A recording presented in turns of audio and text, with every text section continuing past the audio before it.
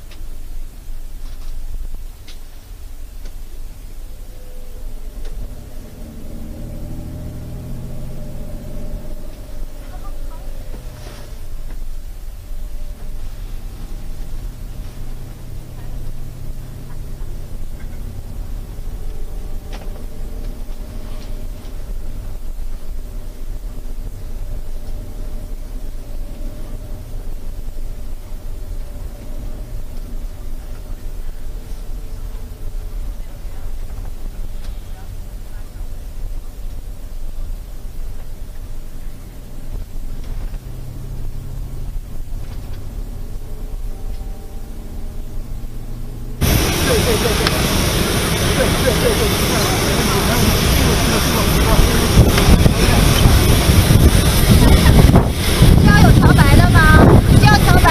了之，过了，有，我来。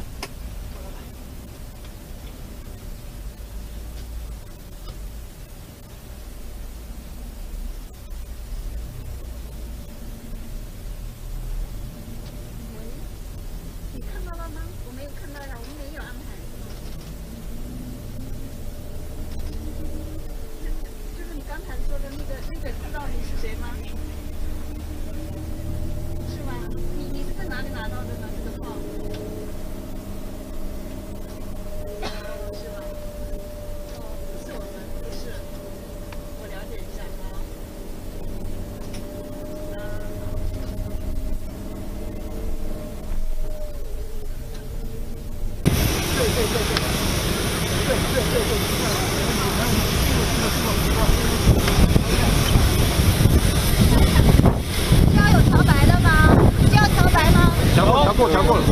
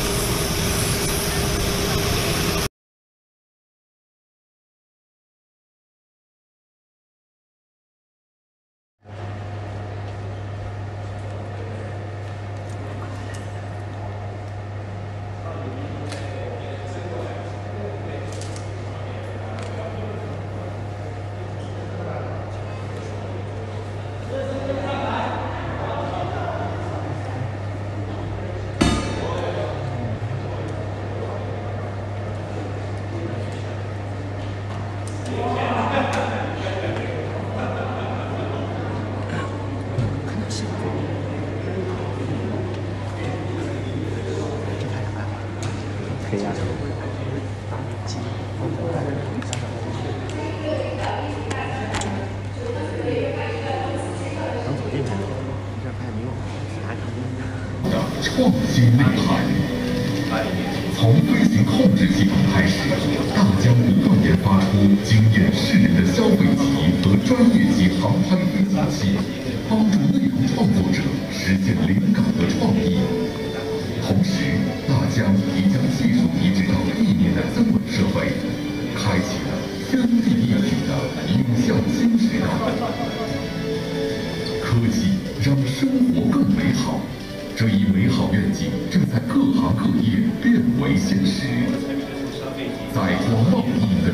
大疆的织毛无人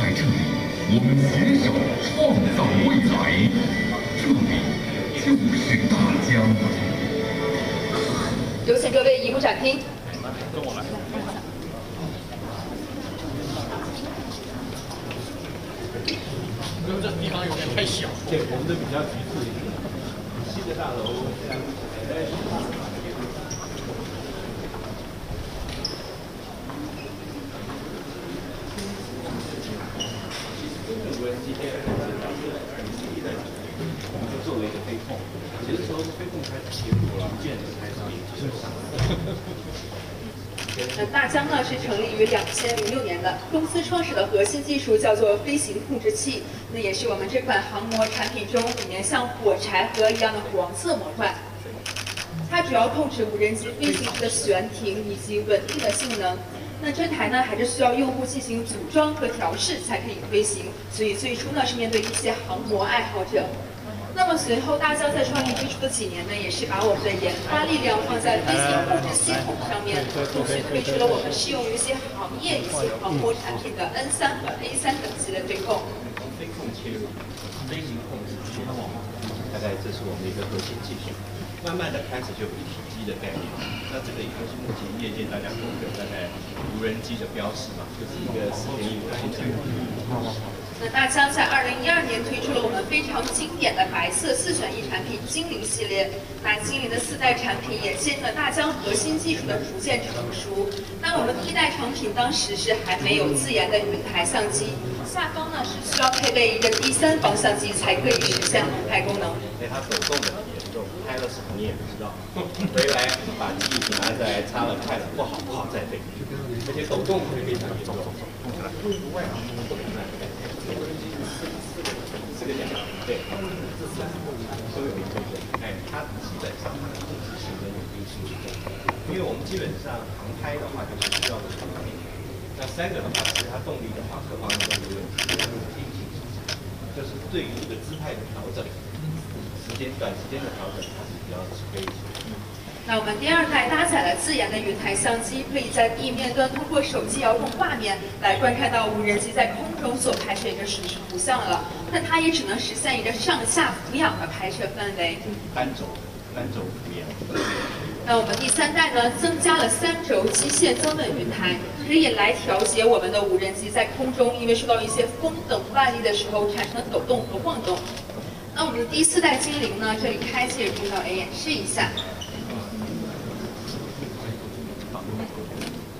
我开机之后呢，我的镜头呢会自动的朝向前方。那比如说我模拟在空中有一些影响的时候，摄像头是一个稳定的状态，嗯，所以保证我们的视频呢是比较丝滑和流畅的。那除此之外呢，我们前方起落架上，在这里还增加了双目视觉避障系统，它对我们的小眼睛，它可以来识别前方的障碍物，做出一些规避和刹停，保证我们飞行时的一个安全。所以我们一直在大陆很多的同学关系都是这种驾驶那大疆在二零一六年还推出了非常方便我们户外携带的折叠式的无人机“玉”系列。长可以拿一下，可以，你感受一下这个重量。葡萄籽，拿一下一点四。这个你也可以感受一下，这个一点四千克，这个是七百克。性能性能功能打折，可是体积变小，重量减半，大概是这样。对。这个就是出去比较重，那个小。你们开发出来的。对，这是二零一六年九月二十八号上市，所以跟一开始创业大概已经经过了十年。对。那后面我们甚至还推出了二百四十九克的无人机，那我们可以再来感受一下，更加轻巧和便捷了。符合很多地方法律规定，它要求你低慢小，低不能飞太高，慢的话就不能飞太快，小就是个头不能太大。那很多人就喊了喊了一个两百五十克的重量。啊，这个是两百四十九，这个是两百四十九克。你刚刚讲的重量都不可以，理由是什么？理由就是害怕会有一些公共安全，就觉得你飞太快了、太重了，掉下来砸到人了，各种顾虑。那所以就大概目前国际上认为两百五十克是一个普遍公认的标准。那我们的工程师就想尽办法收了一个两百四十九克。所以现在很多飞这一台的话呢，是不太需要这个实质实名注册，看各地法律的。我这个相对的是比较没有那么多管理的比较轻。那后面大疆还把呃无人机的镜头以及影像技术推上了一个全新的高度。大疆在二零一七年将哈苏收购为了子公司，之后联合哈苏呢推出了我们带有专业摄像头的无人机。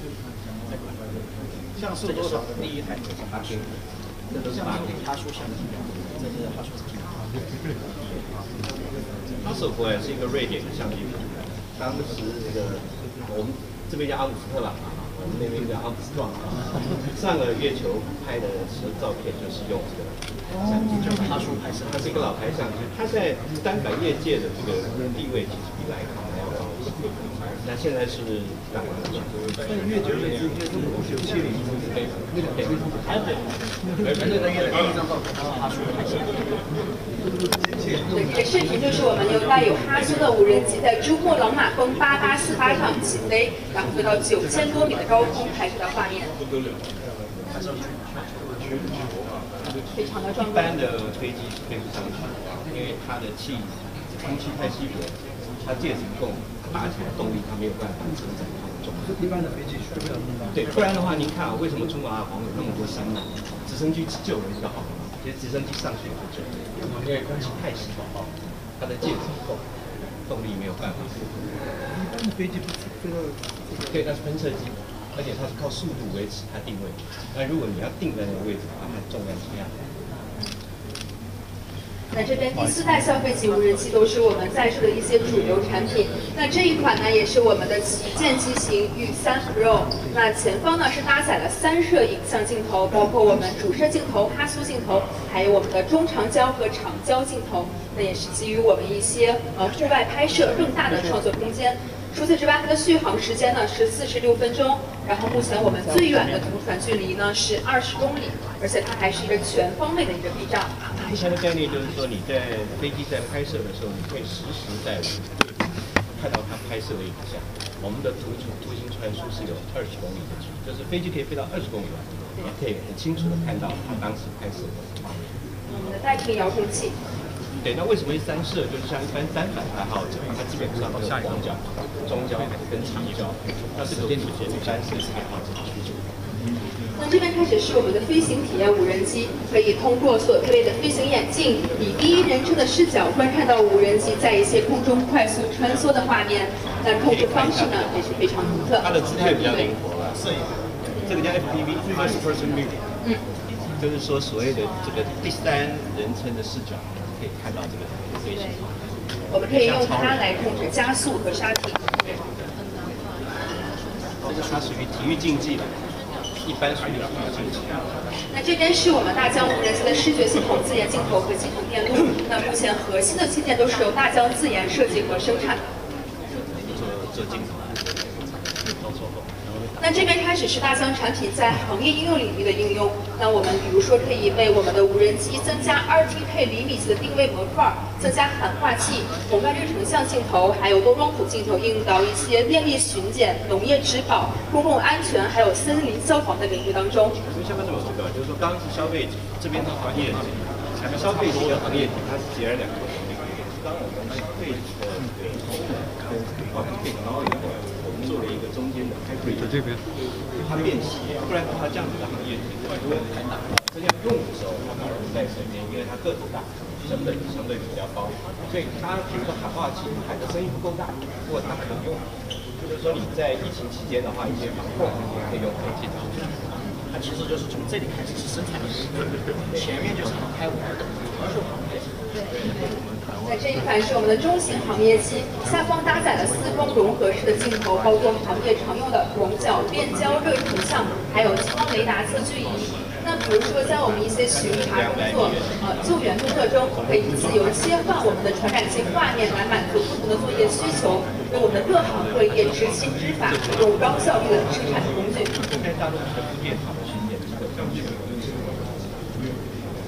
它的效率高，然后精准。放在拐角那里，拐角那里。那这边呢是我们的飞行平台 M 三五零 RTK，那也是我们目前各行各业中使用最多和应用最广的解决方案。下方呢，我们还开放了统一的接口，啊，可以搭载的相机负载，对，来满足我们不同行业的作业需求。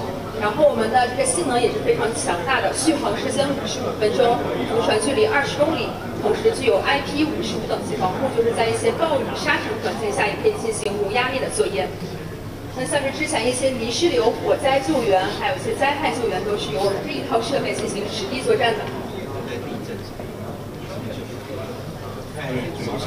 就是说它既有红外跟光，它可以当时是建模，所以当时地貌对后来的状况到底哪里发生了坍陷，它是可以是八点开始如果有生命迹象的话，看到。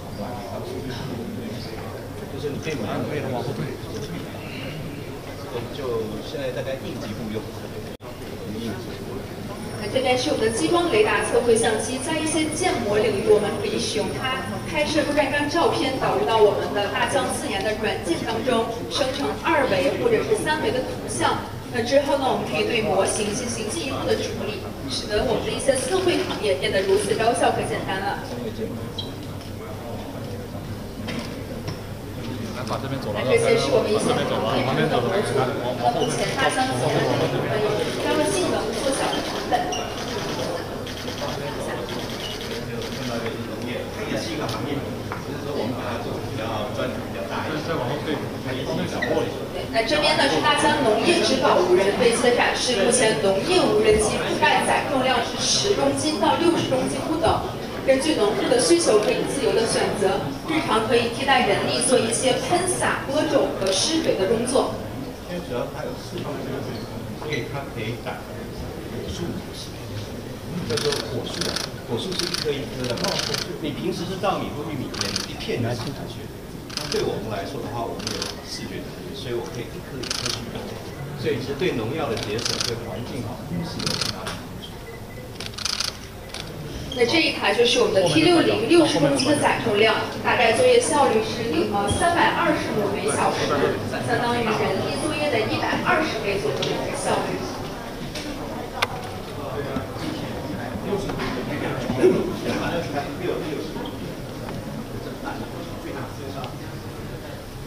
那我们还有一些像通电雷达和毫米波雷达的设计可以帮助我们绕障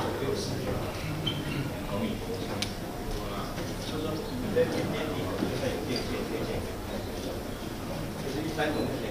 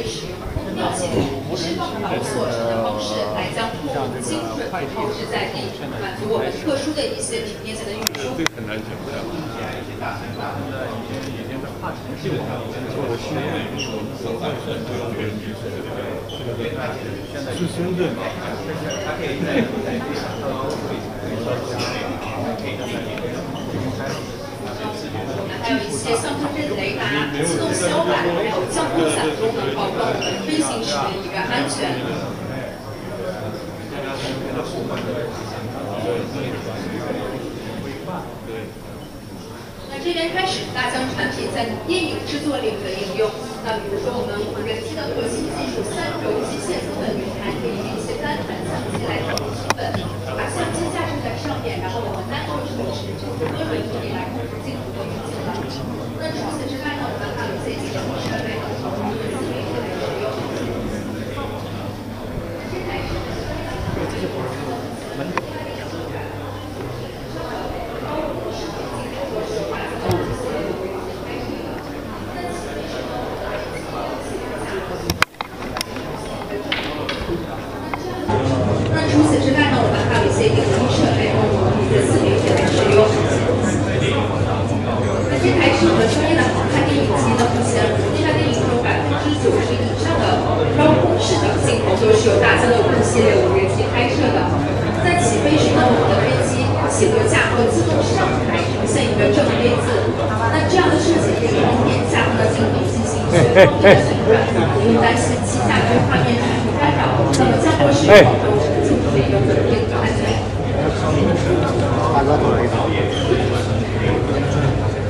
港啊，哎、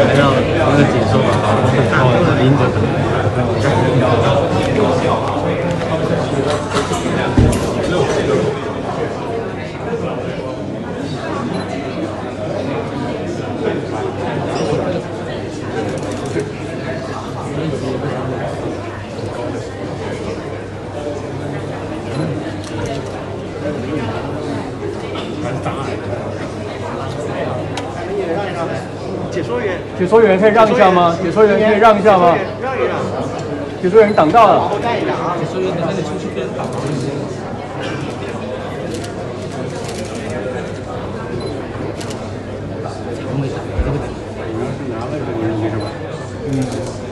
稳定器那个，第二个这里比较好，你要不要？哦，你要去，你要去，他比较聪明。对，今天要在八度，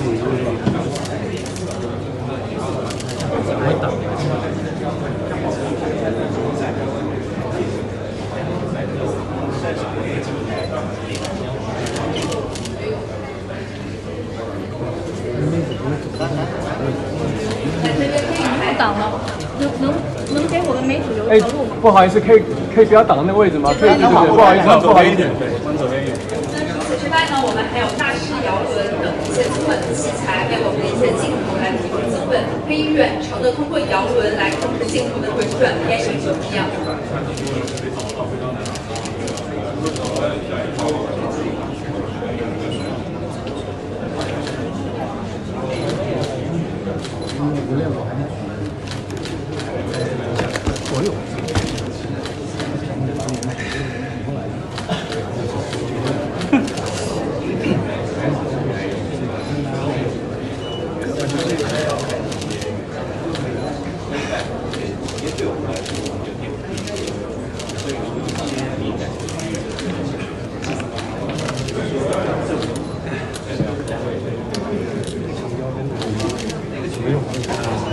你说我换了。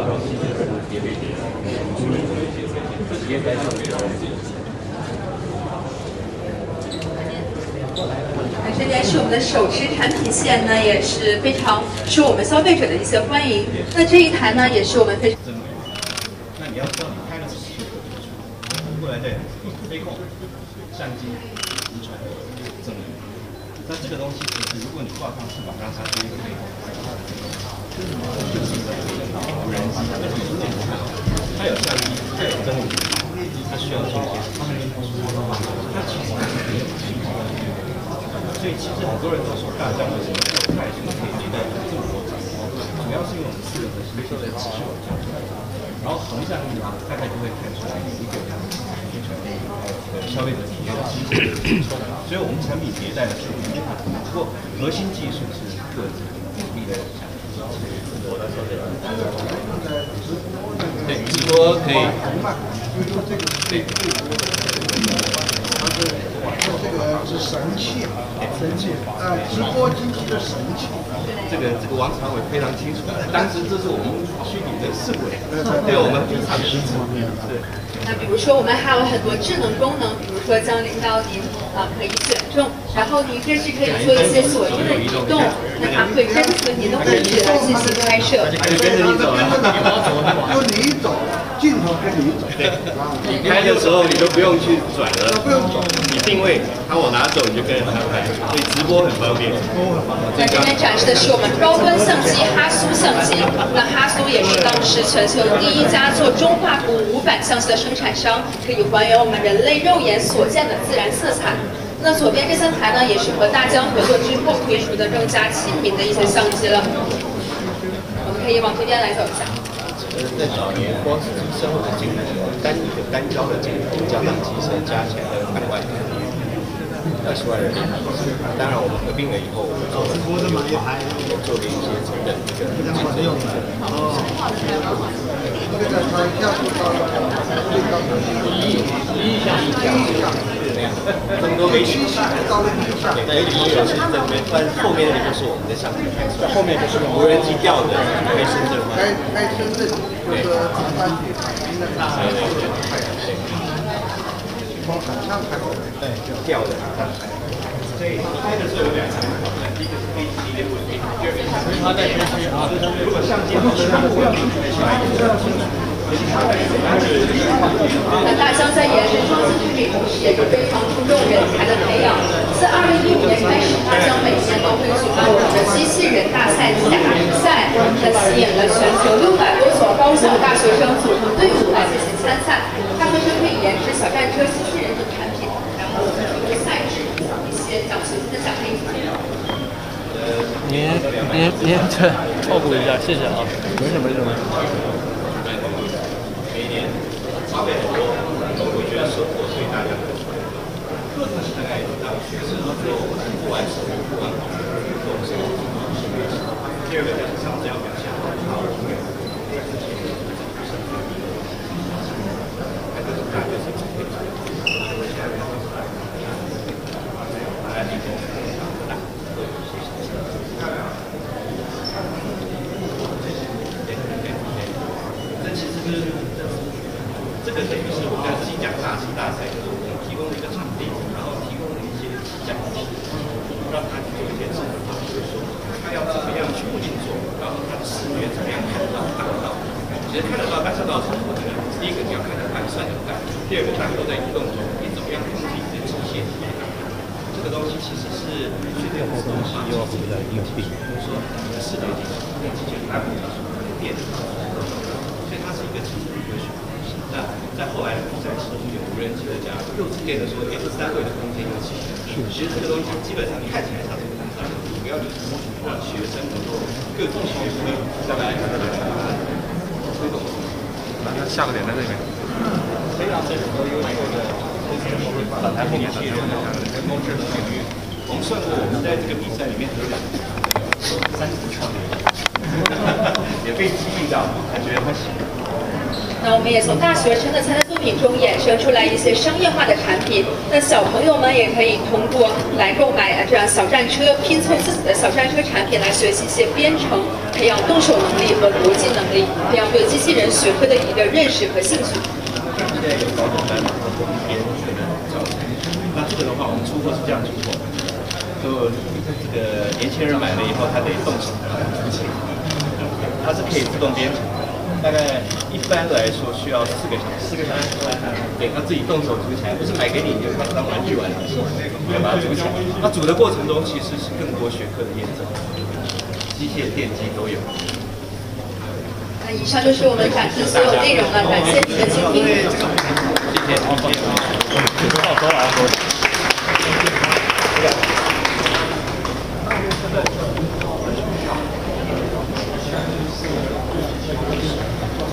教育训体系，对，他们还并不一定好学校的好学校的学生做的好，有说职校的学生做的好，对。这样发。其实以以无人机，它是一个集成科学的，很多速度其实技术含量来说，还有这个储备来说，可以了，可以了，准备上车。那你们来不及上车。下次再见。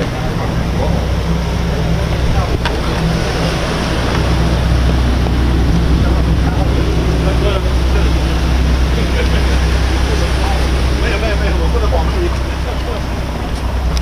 公司在哪里啊？哇，这边。对。好，那我们他们是你先上车，我带你上。好。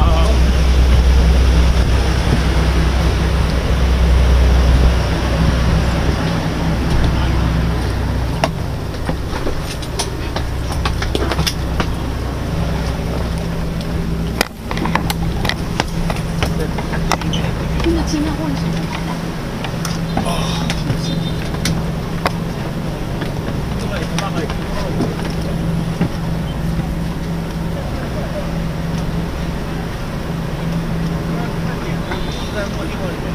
啊，室内也在墨镜。老板吗？他室内不在。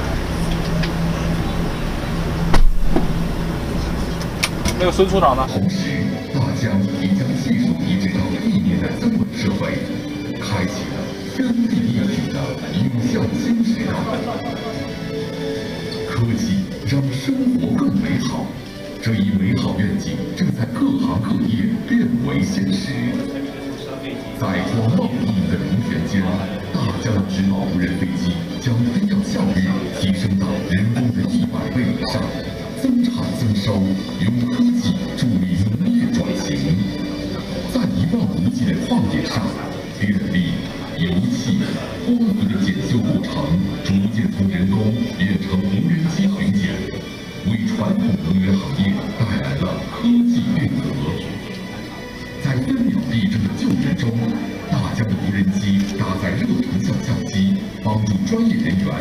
和黑暗，施救更多鲜活的生命。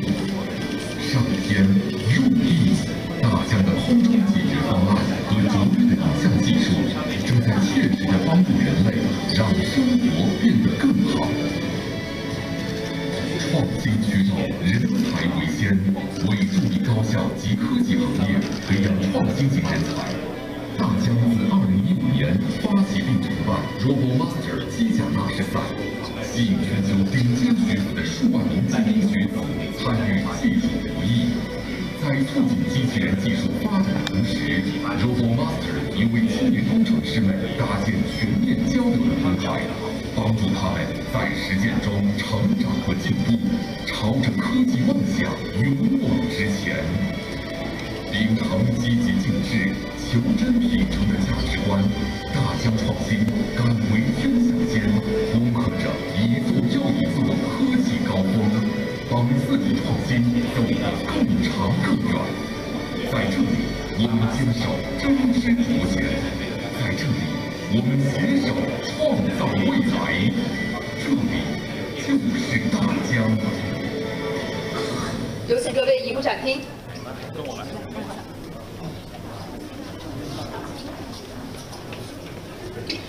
因为这地方有点太小，对，我们的比较局促一点。新的大楼现在目前在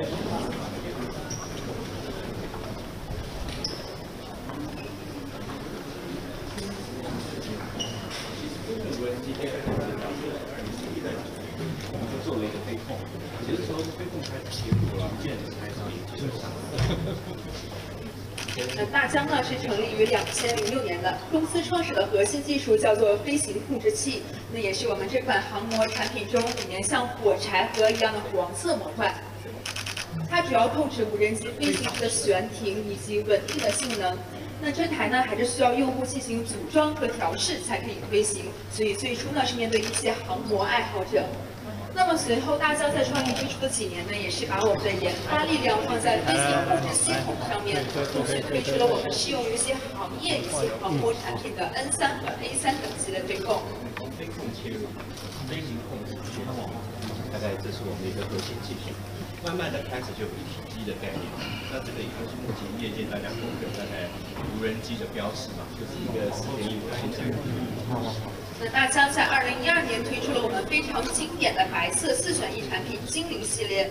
那精灵的四代产品也见证了大疆核心技术的逐渐成熟。那我们第一代产品当时是还没有自研的云台相机，下方呢是需要配备一个第三方相机才可以实现航拍功能。因为它手动的严重，拍了视频你也不知道，回来把机器拿下来擦了看了不好不好再飞，而且抖动会非常严重。四个点，对，都有一个哎，它基本上它的控制性跟稳定性是够因为我们基本上航拍的话就是需要的动力，那三个的话，其实它动力的话各方面都没问题，它的稳定性就是对于这个姿态的调整，时间短时间的调整它是比较吃亏一些。那我们第二代搭载了自研的云台相机，可以在地面端通过手机遥控画面来观看到无人机在空中所拍摄一个实时图像了。那它也只能实现一个上下俯仰的拍摄范围。单轴，单轴俯仰。那我们第三代呢，增加了三轴机械增稳云台，可以来调节我们的无人机在空中因为受到一些风等外力的时候产生抖动和晃动。那我们的第四代精灵呢，这里开启指导 A 演示一下。我开机之后呢，我的镜头呢会自动的朝向前方。那比如说我模拟在空中有一些影响的时候，摄像头是一种稳定的状态，嗯，所以保证我们的视频呢是比较丝滑和流畅的。那除此之外呢，我们前方起落架上，在这里还增加了双目视觉避障系统，它对我们的小眼睛，它可以来识别前方的障碍物，做出一些规避和刹停，保证我们飞行时的一个安全。这双目功能我们现在用到了自动驾驶区，所以我们一直在大陆很多的同学关系都是自动驾驶。那大疆在二零一六年还推出了非常方便我们户外携带的折叠式的无人机玉系列。掌灯再拿一下，可以，你感受一下这个重量。葡萄手可以拿一下一点四。这个你也可以感受一下，这个一点四千克，那个是七百克。性能性能功能打折，可是体积变小，重量减半，大概是这样。对，这个就是出现比较重，那个小。你们开发这个？对，这是二零一六年九月二十八号上市，所以跟一开始创业大概已经经过了十年。对那后面我们甚至还推出了二百四十九克的无人机，那我们也再来感受一下，更加轻巧和便捷了。符合很多地方法律的规定，它要求你低慢小，低不能飞太高，慢的话就不能飞太快，小就是个头不能太大。那很多人就是喊了喊了一个两百五十克的重这个两百四十，这个是两百四十九。对，你刚刚讲的重量都不对，理由是什么？理由就是害怕会有一些公共安全。就觉得你飞太快了，太重了，掉下来砸到人了，各种顾虑。那所以就大概目前国际上认为两百五十克是一个普遍公认的标准。那我们的工程师就想尽办法收了一个两百四十九克。所以现在很多飞这台的话呢，是不太需要这个实质实名注册，看各地法律的规定。我这个相对的是比较没有那么多法律的约束，比较轻。那后面大疆还把呃无人机的镜头以及影像技术推上了一个全新的高度。大疆在二零一七年将哈苏收购为了子公司，之后联合哈苏呢推出了我们带有专业摄像头的无人机。像素多少？的第一台就是八 K，这都是八 K 哈苏相机，这是哈苏相机。哈苏果然是一个瑞典的相机品牌，当时这个我们这边叫阿姆斯特朗。我们那边叫阿姆斯壮，上个月球拍的时照片就是用这个相机，就是他说拍摄，他是一个老牌相机，他在单反业界的这个地位其实比徕卡。那现在是干嘛？但是月球的今天中国是有七零一那个台北，台北那个第一张照片，他说拍摄。对，这个视频就是我们用带有哈苏的无人机在珠穆朗玛峰八八四八上起飞，然后飞到九千多米的高空拍摄的画面。非常的壮观。一般的飞机是飞不上去，因为它的气空气太稀薄，它介质不够，而且动力它没有办法承载那么重。一般的飞机需要那么对，不然的话，您看啊，为什么珠穆朗玛峰有那么多山呢？直升机救人就好了，因为直升机上去就救，因为空气太稀薄，它的介质不够，动力没有办法。一般的飞机不是飞到对，那是喷射机，而且它是靠速度维持它定位。那如果你要定在那个位置，把它重量下来。那这边第四代消费级无人机都是我们在售的一些主流产品。那这一款呢，也是我们的旗舰机型御三 Pro。那前方呢是搭载了三摄影像镜头，包括我们主摄镜头、哈苏镜头，还有我们的中长焦和长焦镜头。那也是基于我们一些呃户外拍摄更大的创作空间。除此之外，它的续航时间呢是四十六分钟，然后目前我们最远的同传距离呢是二十公里，而且它还是一个全方位的一个避障。飞翔的概念就是说，你在飞机在拍摄的时候，你可以实时在看到它拍摄的影像。我们的图图形传输是有二十公里的距离，就是飞机可以飞到二十公里，也可以很清楚的看到它当时拍摄的。我们的带屏遥控器。对，那为什么会三摄？就是像一般三反爱好者，它基本上都是广角、中焦跟长焦，那是有目前三摄爱好者的需求。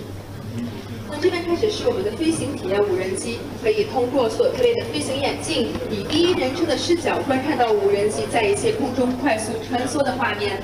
那控制方式呢也是非常独特。它的姿态比较灵活了，摄影，这个叫 FPV，First Person View。嗯，就是说所谓的这个第三人称的视角。可以看到这个飞行，我们可以用它来控制加速和刹停。这个它属于体育竞技的，一般属于体育竞技。那这边是我们大疆无人机的视觉系统、自研镜头和系统电路。那目前核心的器件都是由大疆自研设计和生产。做做镜头。那这边开始是大疆产品在行业应用领域的应用。那我们比如说可以为我们的无人机增加 2TK 厘米级的定位模块，增加喊话器、红外热成像镜头，还有多光谱镜头，应用到一些电力巡检、农业植保、公共安全，还有森林消防的领域当中。所以下面是我这个，就是说刚刚是消费这边是行业体，消费型和行业体它是截然两个。刚我们消费的对功能，包括电脑以后。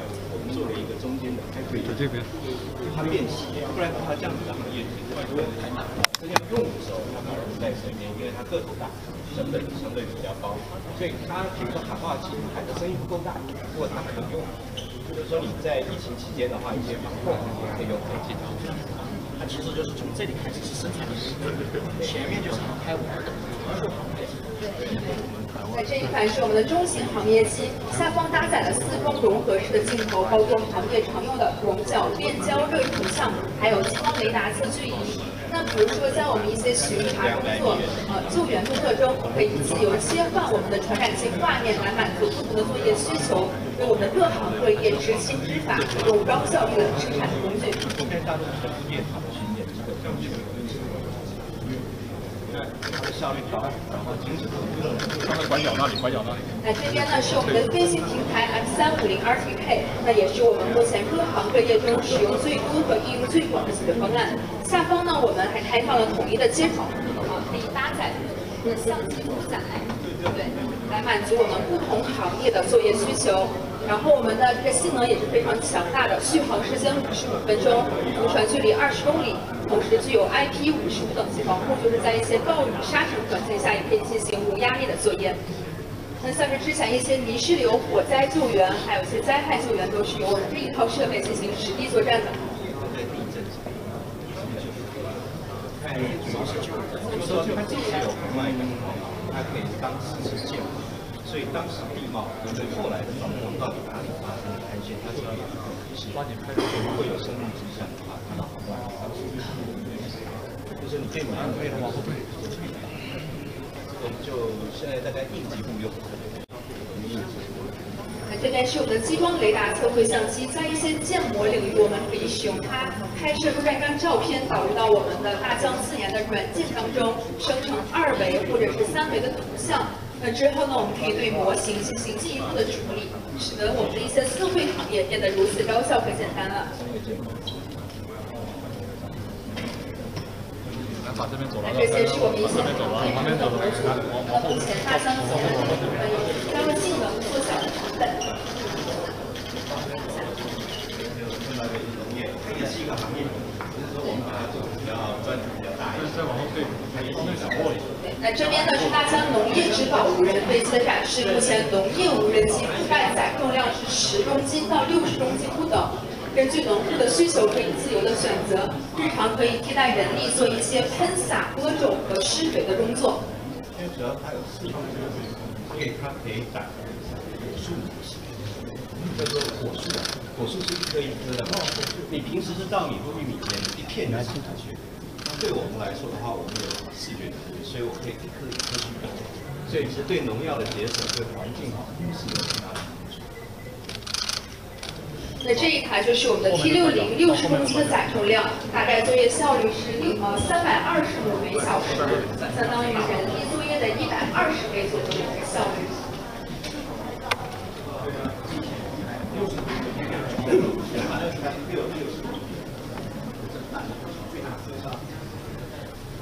那我们还有一些相控阵雷达和毫米波雷达的设计，可以帮助绕障。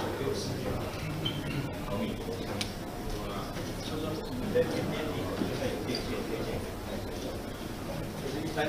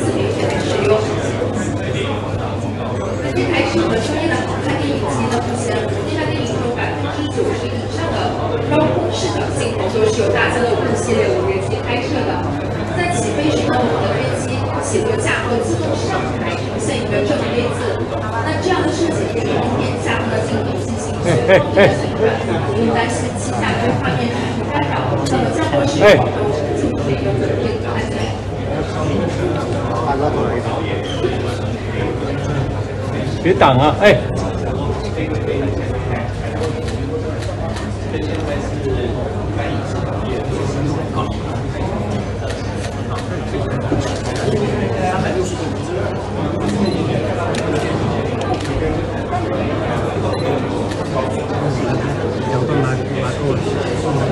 这边是我们一些大疆的增稳器材、摄像头，还有我们的一些呃其他产品在电影中的一些实际应用了。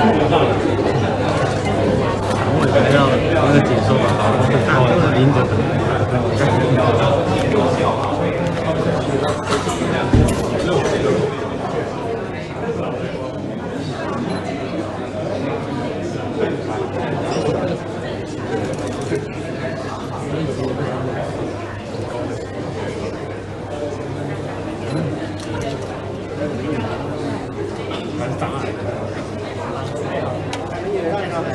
解说员，解说员可以让一下吗？解说员可以让一下吗？让一让，解说员挡到了。我带一下啊。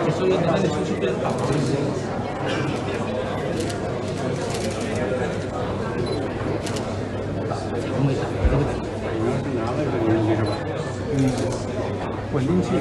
第二个，这里比较好，你要不要？哦，你要去，你要去，大家不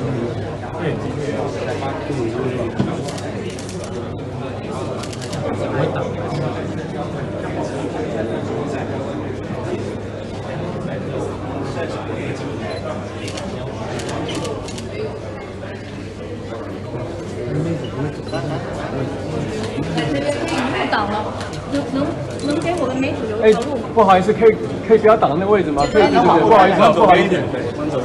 那除此之外呢，我们还有大师摇轮等一些增稳的器材，为我们的一些镜头来提供增稳，可以远程的通过摇轮来控制镜头的回转偏移怎么样？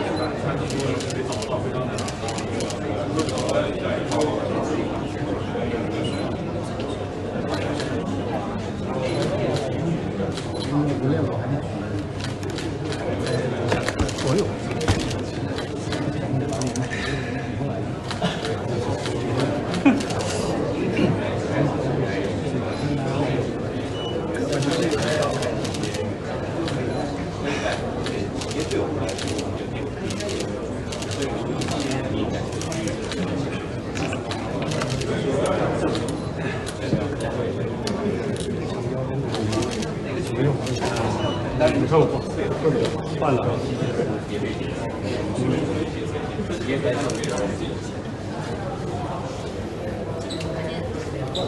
那这边是我们的手线呢，也是非常受我们消费者的一些欢迎。那这一台呢，也是我们非常。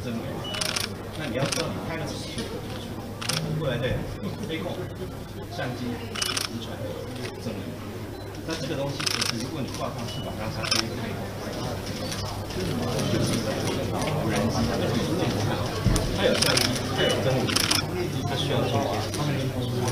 它其实没有机所以其实很多人都说大疆为什么这么快速可以带这么多张，主要是因为我们四个的是做的持续往上然后横向力呢，大概就会看出来有一个呃消费者体验的机制，所以我们产品迭代的速度非常快，不过核心技术是各自努力的。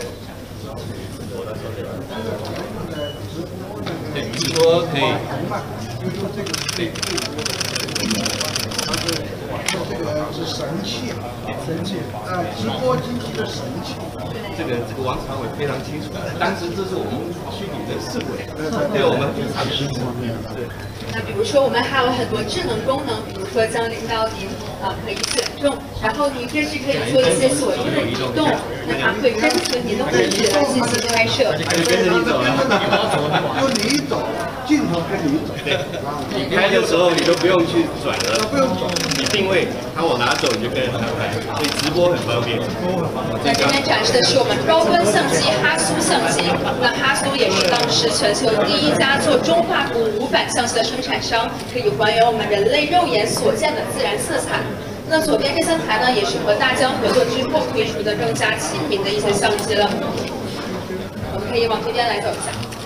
在早年，光是机身或者镜头，单一个单焦的镜头，加上机身加起来要百万，二十万人。民币。当然，我们合并了以后，我们做了也做了一些成本这个竞争用的。哦这个它要求到了最高的一一项一项是那样，那么多媒体到了一项。那里面有是这边，但后面那个就是我们的相机，后面就是无人。机吊的飞深圳嘛。开开深圳就是长安去海滨的大海，从海上开过来，对，吊的。所以拍的时候有两个挑战，第一个是飞机的稳定，第二个它在飞机啊，如果相机不是它不稳定，拍那大疆在延伸中这同时也是非常注重人才的培养。自二零一五年开始，大疆每年都会举办我们的机器人大赛甲比赛，那吸引了全球六百多所高校大学生组成队伍来进行参赛。大学生可以研制小战车、机器人等产品，然后通过赛制一些奖学金的奖励。您您您对，照顾一下，谢谢啊。没事没事没事。每一年花费很多，我觉得收获对大家来说，个人是大概大学生做不完手不完好，都是第二个就是上次要表现好，还就是大学生成绩。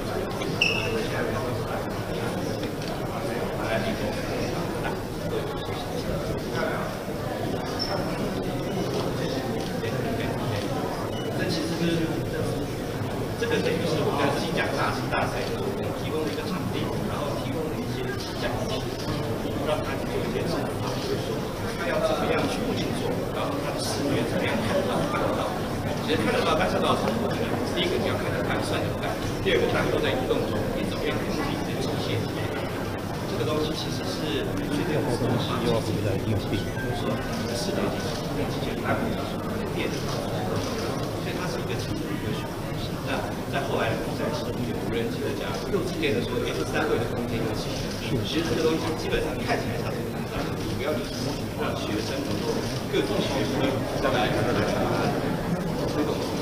那下个点在这边。非常这很多优秀的把它后面切入到人工智能领域。我们算过，我们在这个比赛里面得奖三十场，也被激励到，感觉还行。那我们也从大学生的参赛作品中衍生出来一些商业化的产品。那小朋友们也可以通过来购买啊这样小战车，拼凑自己的小战车产品来学习一些编程，培养动手能力和逻辑能力，培养对机器人学科的一个认识和兴趣。现在有高中班，别人学的教材。那这个的话，我们出货是这样出货的，就这个年轻人买了以后，他得动手组起来，它是可以自动编程。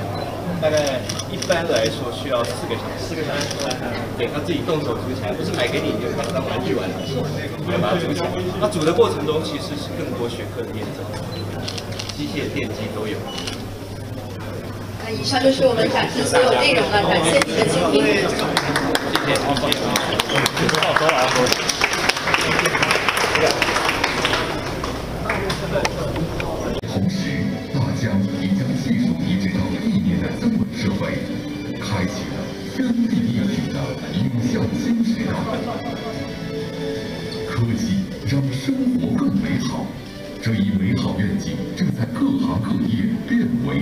为现实。在广袤的农田间，大疆的织毛无人飞机将培养效率提升到人工的一百倍以上，增。产增收，用科技助力农业转型。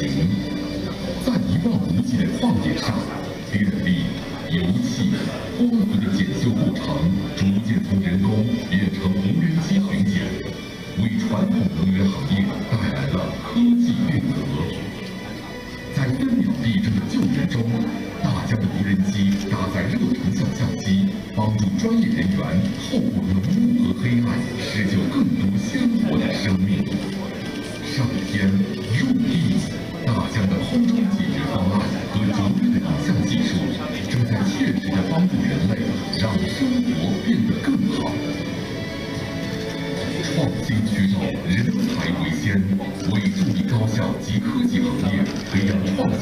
二一年四月份，我们公司也是宣布了第四次的战略升级。我们是提出可持续社会价值创新战略，也是国内首家把社会价值纳入公司核心战略的企业。那么在同年八月份，我们也是宣布启动共同富裕专项计划，更多的是乡村振兴，立足当下。现在我们公司也是希望配合我们相关的生态合作伙伴，在社会互惠的十大领域持续助力履行企业的社会责任。像现在来到前方，您了解到的就是我们在银化科技领域打造的相关的产品了。像现在了解到的就是我们打造的助听器。像现在大部分的助听器，它的造价都比较昂贵，最便宜都是超过了几万块钱。我们现在是把腾讯会议同款的智能降噪技术作为公益项目，免费开放给了合作伙伴，打造了这两款智听助听器。目前只它的价格降低在了三千到八千元的区间了。是，而且最关键的是，我们现在已经服务了国内超过四百万名的听障和听弱人群了，帮助他们听得清、听得真、听得准。他要用 AI 技术，他每个人要单独做一个调音室来当它的然后这里面用了我们会议的一些 AI 会议场景，非常的激进，效果对听障在前方呢，了解到的也是我们打造的银领守护卡，扩大老年人的生活半径。像您在前方可以看到，是我们携手的合作伙伴帮忙打造的老年人使用的手机。在前方可以看到，我们可以在手机上方进行微信通话，这样子老年人就可以通过这些非常简洁的功能进行接听了。那么在前方呢，了解到的也是我们打造的银领辅报机。对，像现在银领辅报机可以看到，对马先生，您可以看一下在前方的视频。它的操作非常便捷，因为像现在我们国内大部分的失能老人是其实占了我们这边的百分之十五左右，但现在的话，大部分的辅报机，第一点它的价格比较昂贵，十万元左右，并且不太符合我们亚洲人体格。我们公司是花了两年时间研发了这款银发辅报机，像您在前方可以看到，我们可以通过非常便捷的功能，可以通过微信小程序来进行控制，这样子可以帮助护工来轻松移动。对，在前方呢也是了解到，我们公司也是在不断的助力我们相关的台港澳青年，提供多元化的专业实习岗位。那么在前方可以看到，包括我们是专门打造了台港澳的英才计划，并且呢也是有相关的一些青年的一些活动。像大家如果感兴趣，也可以扫描我们前方的二维码。对我们今年的这个台港英才计划已经正式开启了。好，那么到现在我们展厅参观就到此结束了，也是非常感谢大家的聆听。往前走，往前走，走快一点，往前走。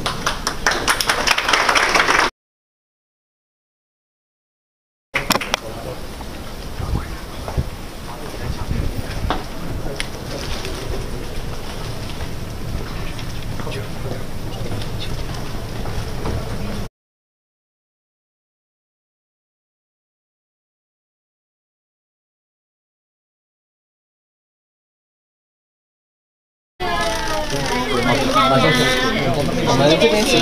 好的，小心，小心。哎，没有拿礼品的都可以到腾讯的展会参访活动之后呢，在傍晚将会来到五洲大酒店这边来看国台办主任宋涛来会见。届时我们还会持续着做连线报道，还有直播，请大家锁定我们的频道。给我看一下，给我看一下。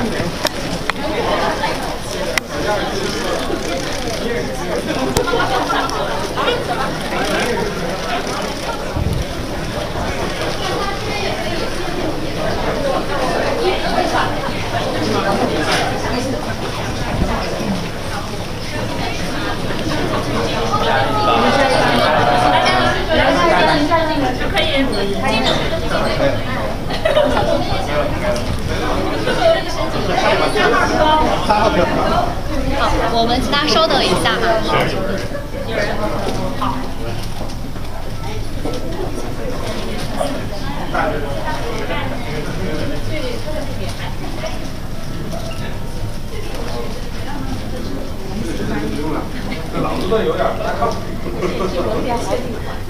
电梯现现在谁在控制？帮助用户部署本地云平台，向大型互联网客户、运营商等等。同时，我们也是为高速移动中的地铁、车辆，甚至是自动驾驶提供安全服务。中间呢，我们了解到的本地专用集群 CDC 实现无线下沉和轻量的端到端部署，如高校科研站、AI 质检线、港口油井等等。那么我们中间了解到的专有云 TCE 是帮助像电力和金融等等高保密级用户搭建私有化云平台。在二零二二年，我们公司的所有自研业务已经全面上云，每年可以节省超过数十亿的成本了。在刚刚呢了解到的就是我们腾讯开放给各行各业的一项关键科技能力。那么在前方了解到的就是 AI 人工智能。在去年，大语言模型也是热度最高的科技创新。那么，在我们去年的九月份，我们正式发布腾讯混元大模型，它也是具备强大的中文创作能力，在复杂语境下的逻辑推理能力以及可靠的任务执行能力。目前，我们和业界的大模型相比，主要有三大优势：第一，是我们全链路自主研发，这保障了会员的高效训练和安全可控；第二，是高效的算法带来的模型参数规模。那么第三呢，就是我们在一楼了解到的数据中心和一系列领先的基础设施带来充沛的算力资源。一直以来，我们都认为大模型的发展不是短跑，而是要通过不断的训练和积累，在真实场景去解决实际问题。那么在前方可以看到，目前混元已经接入了大家使用比较频繁的腾讯会议。还有像腾讯广告、腾讯文档等等四百多款腾讯自有产品，为大家提供会议摘要、文本创作，甚至是代码自动填写等服务。来到前方呢，可以看到我们可以和混元体验一下。在上方我们已经有了相关的问题和内容，像我们可以生成一个，可以看看规划一份深圳一日游的旅游攻略。我们在前方可以看到我们现在 AI 进行生成，可以看到我们是推荐的有市民中心、世界之窗等等。那么除此之外，也是现在有非常热门的纹身图功能。在前方呢，可以看到，我们可以看一看，呃，画一幅奔腾的千里马，风格不限。现在我们的 AI 呢正在进行创作当中。像刚刚提到，我们会员最大的优势就是纯中文语言模型，相当于我们输入的中文越多，那么生成的照片就更加精准了。在微信的小程序里就有，对，从原本就可以去试。是。可以直接搜索腾讯会员。对，马先生，我们前方有请。来到前方呢，可以了了解到我们公司深入到各行各业当中，帮助进行数字化升级。那么在现在我们许多矿区容易碰到有山体塌方、滑坡的安全事故，我们公司是根据了在音视频的技术积累，打造了低时延的五 G 视频传输技术——腾讯云无界。通过这款技术结合设备，您可以看到我们的操作员正在远程驾驶。位于长沙市智能驾驶研究院的无人矿机，像刚刚也是提到了，我们最关键的就是低时延的传输技术，我们已经降低在了一百毫秒左右，相当于就是您眨下眼睛的时间进行实时下载。是，建筑师正在进行实时操作。这边请。在交通领域，我们也是向下连接万物，向上赋能应用生态，助力交通行业进行数字化转型升级。像现在我们公司也是根据了像在数字孪生的技术，目前帮助像我们的智慧公交、民航已经有了非常成熟的解决方案，也是让整体的交通决策更加智能化、透明化和数字化。我们前方有请。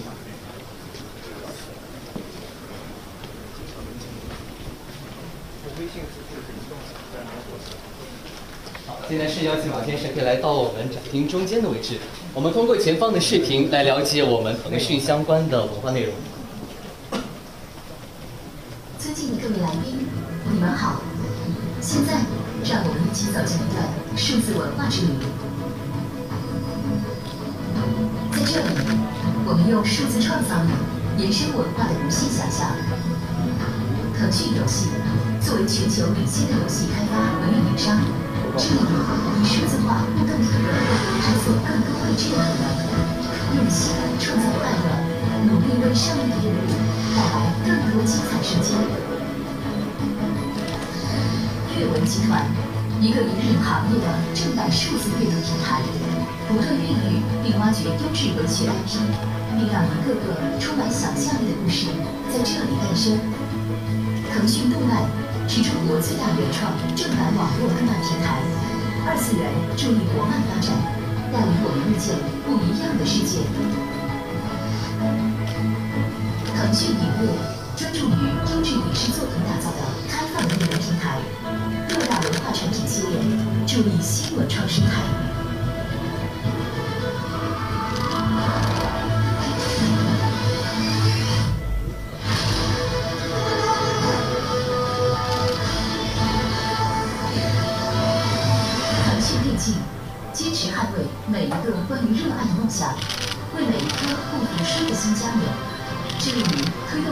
行业发展，是中国最领先的电子竞技运动品牌。好，感谢观看，我们前方有请。马先生，我们前方有请。后边。除了我们刚刚提到的游戏，那么在前方了解到的金融科技也是我们重要的一个营收板块了。前方可以看到，就是我们带来的微信刷掌支付，我们是把它放在了在日常生活中借充电宝的环境。可以看到，当完成抬手的动作之后，就可以完成非常便捷的刷掌支付了。像现在微信刷掌支付已经在我们公司全国办公点落地，我们通过刷手掌在食堂吃饭、领取快递，通过闸机，并且的话现在也是会大力推广在更多地方进行落地了。它主要是那个掌可以人外接触到你的境外的那个图像，就每个人是不一样。你登记之后，下次就人脸就比较敏感，是吧？指纹还是接触，那这个就比较好不用接触，也不用掏手机，最方便的。它直接识别我们这边看起来进来。我们前方有请。那么在服务用户领域，我们公司除了刚刚提到的游戏和金融科技，更是通过我们相关的 AI 技术、游戏引擎技术，并且相关的 AI 技术也是帮助用户来打造相关的一些助力文化的一些传统建设。那么前方可以了解到，包括像有云游长城，还有像您在前方。对，可以了解到像有敦煌、故宫、长城等等，也是让传统文化焕发全新生命力。好，我们前方有请。在二一年四月份，我们公司也是宣布了第四次的战略升级。我们是提出可持续社会价值创新战略，也是国内首家把社会价值纳入公司核心战略的企业。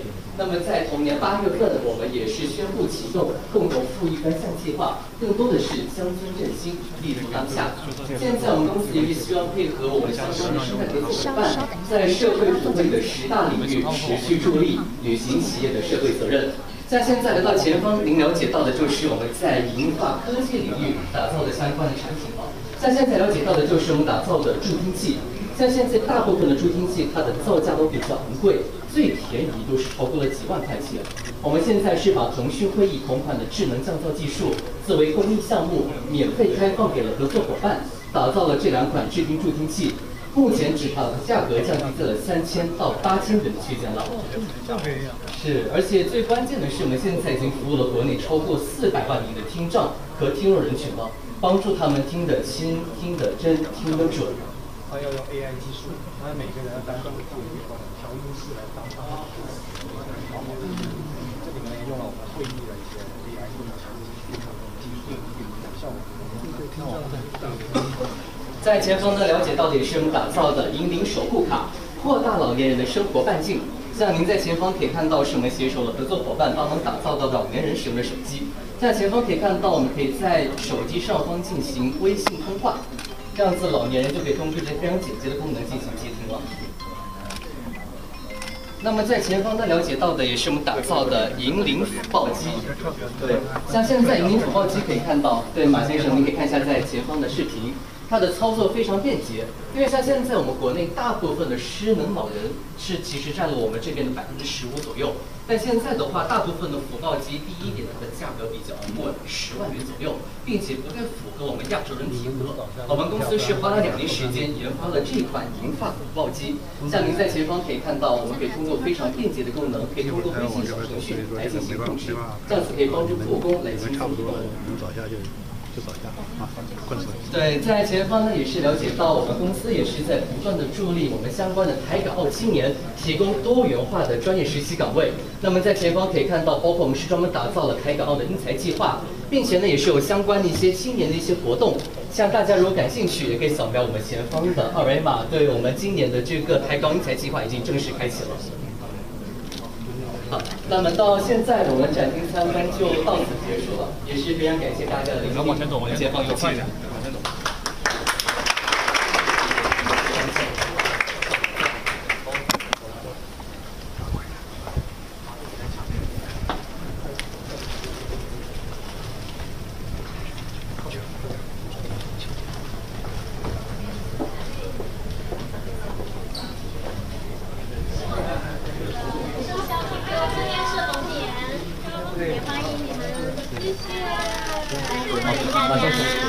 我们这边请，来，好了，小心，小心。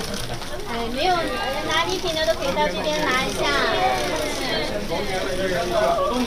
谢谢这个就没了啊。谢谢，好几千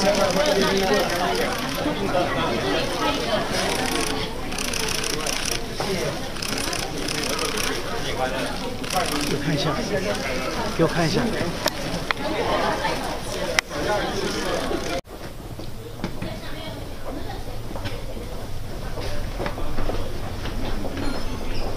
各位前面还有专梯，等一下。对，好，有两个。好，稍等一下，我们第四梯。好。稍等一下，各位，我大家注意安全。对，稍等一下，稍等一下啊，稍等一下。好，上上上了。上。到的本地专用集群 CDC 实现无线下沉和轻量的端到端部署，如高校科研站、AI 质检线、港口、油井等等。那么我们中间了解到的专有云 TCE 是帮助像电力和金融等等高保密级用户搭建私有化云平台。在二零二二年，我们公司的所有自研业务已经全面上云，每年可以节省超过数十亿的成本了。在刚刚呢了解到的就是我们腾讯开放给各行各业的一项关键科技能力。那么在前方了解到的就是 AI 人工智能。在去年，大语言模型也是热度最高的科技创新。那么在我们去年的九月份，我们正式发布腾讯混元大模型，它也是具备强大的中文创作能力，在复杂语境下的逻辑推理能力以及可靠的任务执行能力。目前我们和业界的大模型相比，主要有三大优势。第一是我们全链路自主研发，这样保障了作用的高效训练和安全可控。第二是高效的算法带来的模型参数规模。那么第三呢，就是我们在一楼了解到的数据中心和一系列领先的基础设施带来充沛的算力资源。一直以来，我们都认为大模型的发展不是短跑，而是要通过不断的训练和积累，在真实场景去解决实际问题。那么在前方可以看到，目前混元已经接入了大家使用比较频繁的腾讯会议，还有像腾讯广告、腾讯文档等等四百多款腾讯自有产品，为大家提供会议摘要、文本创作，甚至是代码自动填写等服务。来到前方呢，可以看到我们可以和混元体验一下。在上方我们已经有了相关的问题和内容，像我们可以生成一个，可以看看规划一份深圳一日游的旅游攻略。我们在前方可以看到，我们现在 AI 进行生成，可以看到我们是推荐了有市民中心、世界之窗等等。那么除此之外，也是现在有非常热门的文生图功能。在前方呢，可以看到我们可以看一看，呃，画一幅奔腾的千里马，风格不限。现在我们的 AI 呢正在进行创作当中。像刚刚提到，我们会员最大的优势就是纯中文语言模型。相当于我们输入的中文越多，那么生成的照片就更加精准了。在微信的小程序里就有。同学们就可以去试。是，可以直接搜索腾讯会员。对，马先生，我们前方有请。来到前方呢，可以了了解到我们公司深入到各行各业当中，帮助进行数字化升级。那么在现在我们许多矿区容易碰到有山体塌方、滑坡的安全事故，我们公司是根据了在音视频的技术积累，打造了低时延的五 G 视频传输技术——腾讯云无界。通过这款技术结合设备，您可以看到我们的操作员正在远程驾驶位于长沙市智能驾驶研究院的无人矿机。像刚刚也是提到，我们最关键的就是低时延的传输技术，我们已经降低在了一百毫秒左右，相当于就是您眨下眼睛的时间进行知识下降。是，建筑师正在进行实时操作。这边请。在交通领域，我们也是向下连接万物，向上赋能应用生态，助力交通行业进行数字化转型升级。像现在我们公司也是根据了像在数字孪生的技术，目前帮助像我们的智慧轨交、民航已经有了非常成熟的解决方案，也是让整体的交通决策更加智能化、透明化和数字化。我们前方有请。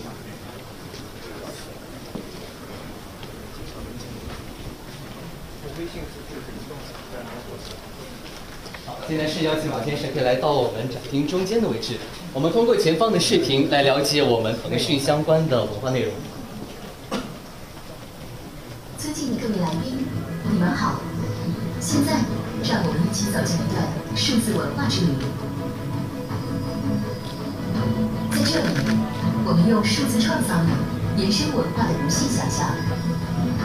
腾讯游戏作为全球领先的游戏开发和运营商，致力于以数字化互动体验探索更多未知的可能，用心创造快乐，努力为上亿用户带来更多精彩瞬间。阅文集团，一个引领行业的正版数字阅读平台，不断孕育并挖掘优质文学 IP，并让一个个充满想象力的故事在这里诞生。腾讯动漫是中国最大原创正版网络动漫平台，二次元助力国漫发展，带领我们遇见不一样的世界。腾讯影业专注于优质影视作品打造的开放内容平台，六大文化产品系列助力新文创生态。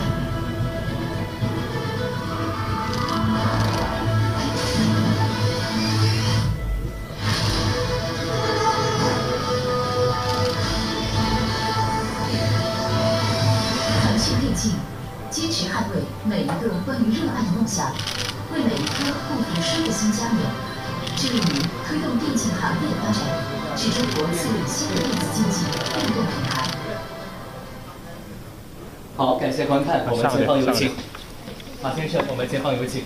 后边。除了我们刚刚提到的游戏，那么在前方了解到的金融科技也是我们重要的一个营收板块了。前方可以看到就是我们带来的微信刷掌支付，我们是把它放在了在日常生活中借充电宝的环境，可以看到当完成抬手的动作之后，就可以完成非常便捷的刷掌支付了。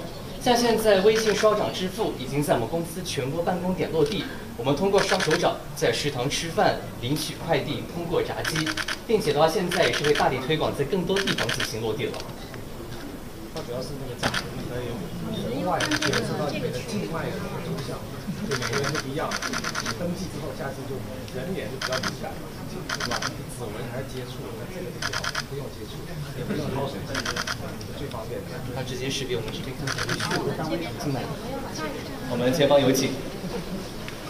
那么在服务用户领域，我们公司除了刚刚提到的游戏和金融科技，更是通过我们相关的 AI 技术、游戏引擎技术，并且相关的 AI 技术，也是帮助用户来打造相关的一些助力文化的一些传统建设。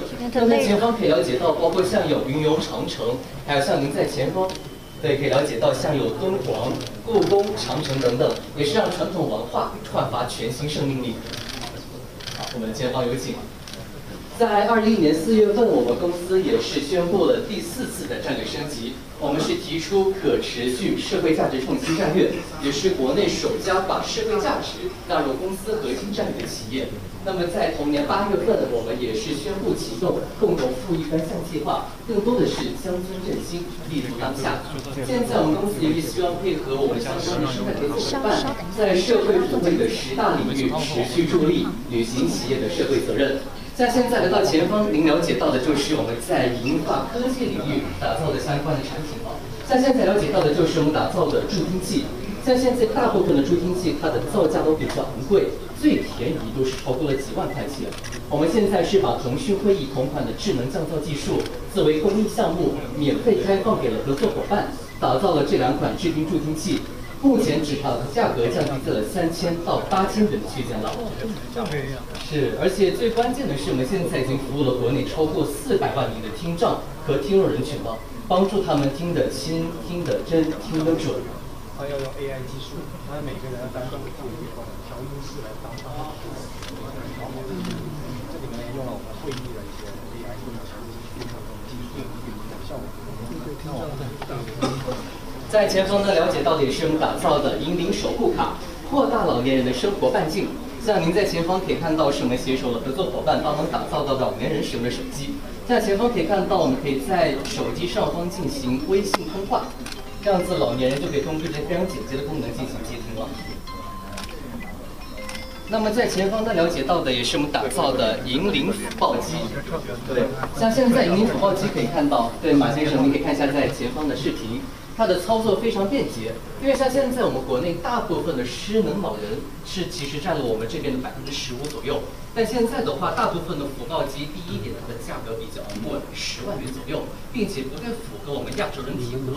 我们公司是花了两年时间研发了这款银发福报机，像您在前方可以看到，我们可以通过非常便捷的功能，可以通过微信小程序来进行控制，这样子可以帮助做工来对，在前方呢也是了解到，我们公司也是在不断的助力我们相关的台港澳青年，提供多元化的专业实习岗位。那么在前方可以看到，包括我们是专门打造了台港澳的英才计划，并且呢也是有相关的一些青年的一些活动。像大家如果感兴趣，也可以扫描我们前方的二维码。对我们今年的这个台港英才计划已经正式开启了。好，那么到现在我们展厅参观就到此结束了，也是非常感谢大家的聆听。往前走，往前放有气。往前走。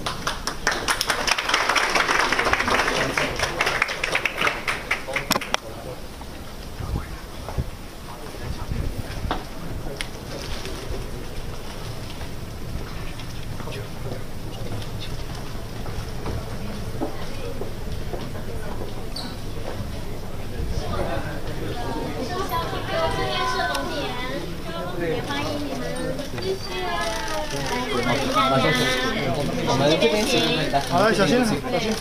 哎，没有拿礼品的都可以到这边拿一下。手动领啊，谢谢这个就没了啊。谢谢，好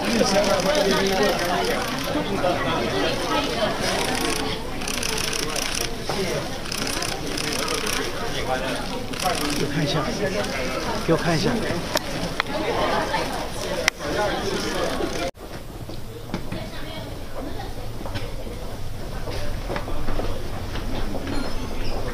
各位前面还有专梯，等一下，对，好，有两个。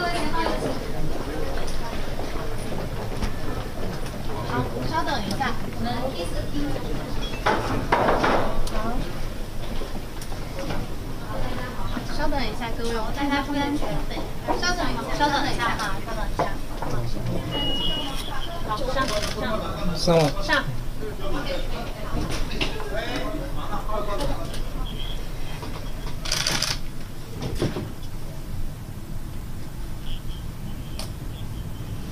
多拍点台湾景。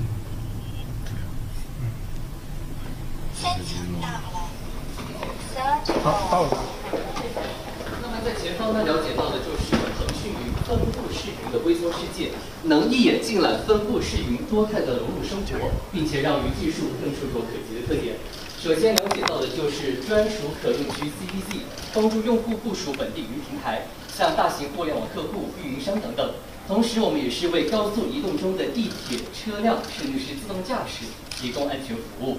中间呢，我们了解到的本地专用集群 CDC 实现无线下沉和轻量的端到端部署，如高校科研站、AI 质检线、港口油井等等。那么我们中间了解到的专有云 TCE 是帮助像电力和金融等等高保密级用户搭建私有化云平台。在二零二二年，我们公司的所有自研业务已经全面上云，每年可以节省超过数十亿的成本了。在刚刚呢了解到的就是我们腾讯开放给各行各业的一项关键科技能力。那么在前方了解到的就是 AI 人工智能。在去年，大语言模型也是热度最高的科技创新。那么在我们去年的九月份，我们正式发布腾讯混元大模型，它也是具备强大的中文创作能力，在复杂语境下的逻辑推理能力以及可靠的任务执行能力。目前我们和业界的大模型相比，主要有三大优势：第一，是我们全链路自主研发，这保障了会员高效训练和安全可控；第二，是高效的算法带来的模型参数规模。那么第三呢，就是我们在一楼了解到的数据中心和一系列领先的基础设施，带来充沛的算力资源。一直以来，我们都认为大模型的发展不是短跑，而是要通过不断的训练和积累，在真实场景去解决实际问题。那么在前方可以看到，目前混元已经接入了大家使用比较频繁的腾讯会议。还有像腾讯广告、腾讯文档等等四百多款腾讯自有产品，为大家提供会议摘要、文本创作，甚至是代码自动填写等服务。来到前方呢，可以看到我们可以和混元体验一下。在上方我们已经有了相关的问题和内容，像我们可以生成一个，可以看看规划一份深圳一日游的旅游攻略。我们在前方可以看到我们现在 AI 进行生成，可以看到我们是推荐的有市民中心、世界之窗等等。那么除此之外，也是现在有非常热门的纹身图功能。在前方呢，可以看到，我们可以看一看，呃，画一幅奔腾的千里马风格不限。现在我们 AI 呢正在进行创作当中。像刚刚提到，我们会员最大的优势就是纯中文语言模型，相当于我们输入的中文越多，那么生成的照片就更加精准了。在微信的小程序里就有，对，同学们就可以去试。是。可以直接搜索腾讯混元。对，马先生，我们前方有请。来到前方呢，可以了了解到我们公司深入到各行各业当中，帮助进行数字化升级。那么在现在我们许多矿区容易碰到有山体塌方、滑坡的安全事故，我们公司是根据了在音视频的技术积累，打造了低时延的五 G 视频传输技术——腾讯云无界。通过这款技术结合设备，您可以看到我们的操作员正在远程驾驶。位于长沙市智能驾驶研究院的无人矿机，像刚刚也是提到，我们最关键的就是低时延的传输技术，我们已经降低在了一百毫秒左右，相当于就是您眨下眼睛的时间进行实时下载。是，建筑师正在进行实时操作。这边请。在交通领域，我们也是向下连接万物，向上赋能应用生态。助力交通行业进行数字化转型升级。像现在我们公司也是根据了像在数字孪生的技术，目前帮助像我们的智慧公交、民航已经有了非常成熟的解决方案，也是让整体的交通决策更加智能化、透明化和数字化。我们前方有请。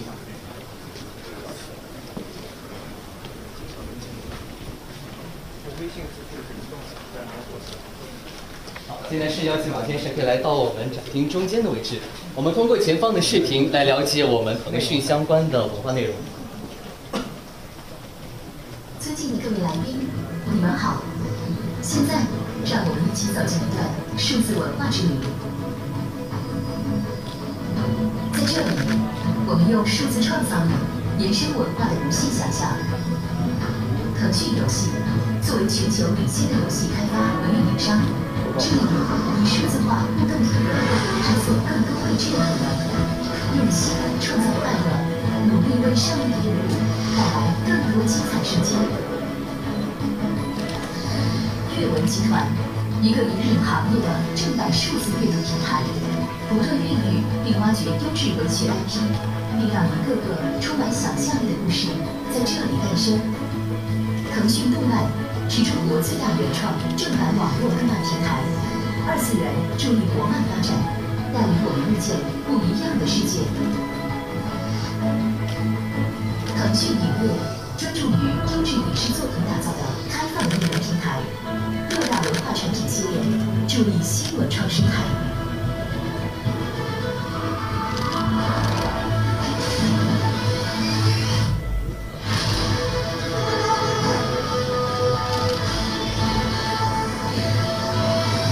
腾讯电竞坚持捍卫每一个关于热爱的梦想，为每一颗不服输的心加园，致力于推动电竞行业的发展。是中国最领先的电子竞技运动品牌。好，感谢观看，我们前方有请。马先生，我们前方有请。后边。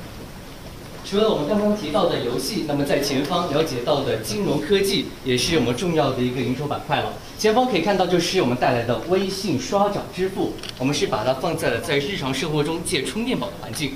可以看到，当完成抬手的动作之后，就可以完成非常便捷的刷掌支付了。像现在微信双掌支付已经在我们公司全国办公点落地，我们通过刷手掌在食堂吃饭、领取快递，通过闸机，并且的话现在也是会大力推广在更多地方进行落地了。它主要是那个掌可以人外接触到你的境外的图像，就每个人都不一样。你登记之后，下次就人脸就比较敏感，是吧？指纹还是接触，那这个就好，不用接触，也不用掏手机，最方便。它直接识别我们这边看的进来。我们前方有请。那么在服务用户领域，我们公司除了刚刚提到的游戏和金融科技，更是通过我们相关的 AI 技术、游戏引擎技术，并且相关的 AI 技术也是帮助用户来打造相关的一些助力文化的一些传统建设。那么前方可以了解到，包括像有云游长城，还有像您在前方。对，可以了解到像有敦煌、故宫、长城等等，也是让传统文化焕发全新生命力。好，我们前方有请。在二一年四月份，我们公司也是宣布了第四次的战略升级。我们是提出可持续社会价值创新战略，也是国内首家把社会价值纳入公司核心战略的企业。那么在同年八月份，我们也是宣布启动共同富裕专项计划，更多的是乡村振兴，立足当下。现在我们公司也是希望配合我们相关的生态合作伙伴，在社会互惠的十大领域持续助力履行企业的社会责任。像现在来到前方，您了解到的就是我们在银化科技领域打造的相关的产品了。像现在了解到的就是我们打造的助听器。像现在大部分的助听器，它的造价都比较昂贵，最便宜都是超过了几万块钱。我们现在是把腾讯会议同款的智能降噪技术作为公益项目，免费开放给了合作伙伴，打造了这两款智听助听器。目前只它的价格降低在了三千到八千元的区间了。是，而且最关键的是，我们现在已经服务了国内超过四百万名的听障和听弱人群了，帮助他们听得清、听得真、听得准。他要用 AI 技术，他每个人单独做一个调音室来当他的助手。这里面用了我们会议的一些 AI 技术，效果在前方呢，了解到的也是我们打造的银领守护卡，扩大老年人的生活半径。像您在前方可以看到，是我们携手的合作伙伴帮忙打造的老年人使用的手机。在前方可以看到，我们可以在手机上方进行微信通话，这样子老年人就可以通过这些非常简洁的功能进行接听了。那么在前方呢，了解到的也是我们打造的银领辅报机。对，像现在银领辅报机可以看到，对马先生，您可以看一下在前方的视频。它的操作非常便捷，因为像现在我们国内大部分的失能老人是其实占了我们这边的百分之十五左右，但现在的话，大部分的辅报机，第一点它的价格比较昂贵，十万元左右，并且不太符合我们亚洲人体格。我们公司是花了两年时间研发了这款银发辅报机，像您在前方可以看到，我们可以通过非常便捷的功能，可以通过微信小程序来进行控制，这样子可以帮助护工来轻松对，在前方呢也是了解到，我们公司也是在不断的助力我们相关的台港澳青年，提供多元化的专业实习岗位。那么在前方可以看到，包括我们是专门打造了台港澳的英才计划，并且呢也是有相关的一些青年的一些活动。像大家如果感兴趣，也可以扫描我们前方的二维码。对我们今年的这个台港英才计划已经正式开启了。好，那么到现在呢，我们展厅参观就到此结束了，也是非常感谢大家的聆听。往前走，往前，放一快一点，往前走。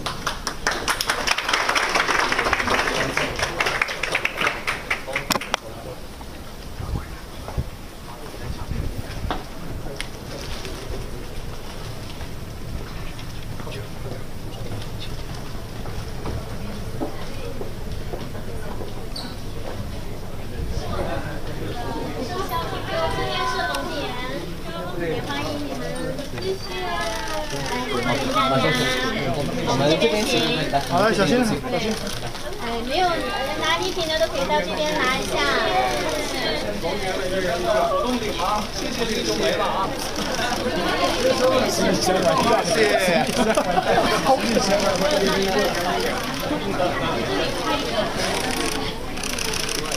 给我看一下，给我看一下。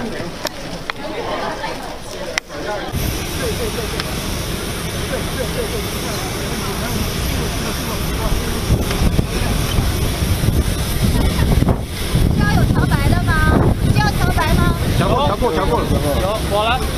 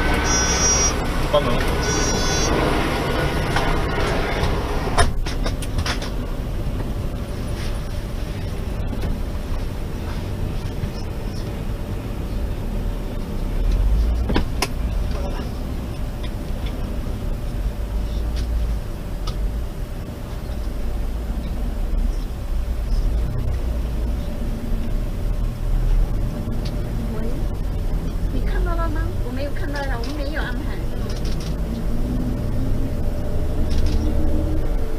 就是你刚才说的那个那个知道你是谁吗？是吗？你你是在哪里拿到的呢？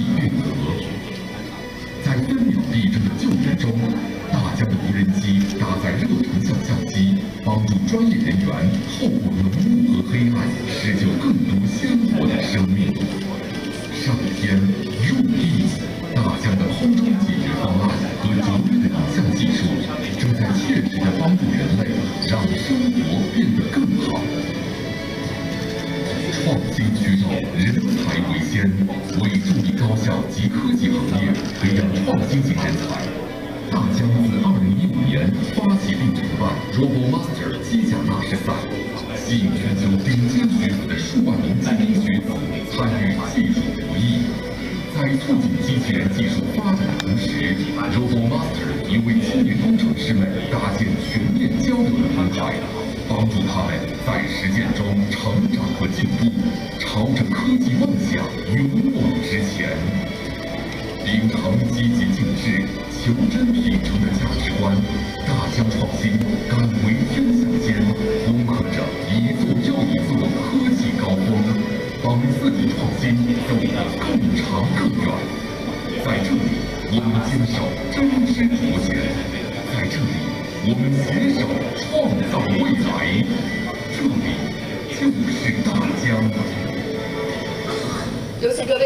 位移步展厅。跟我来。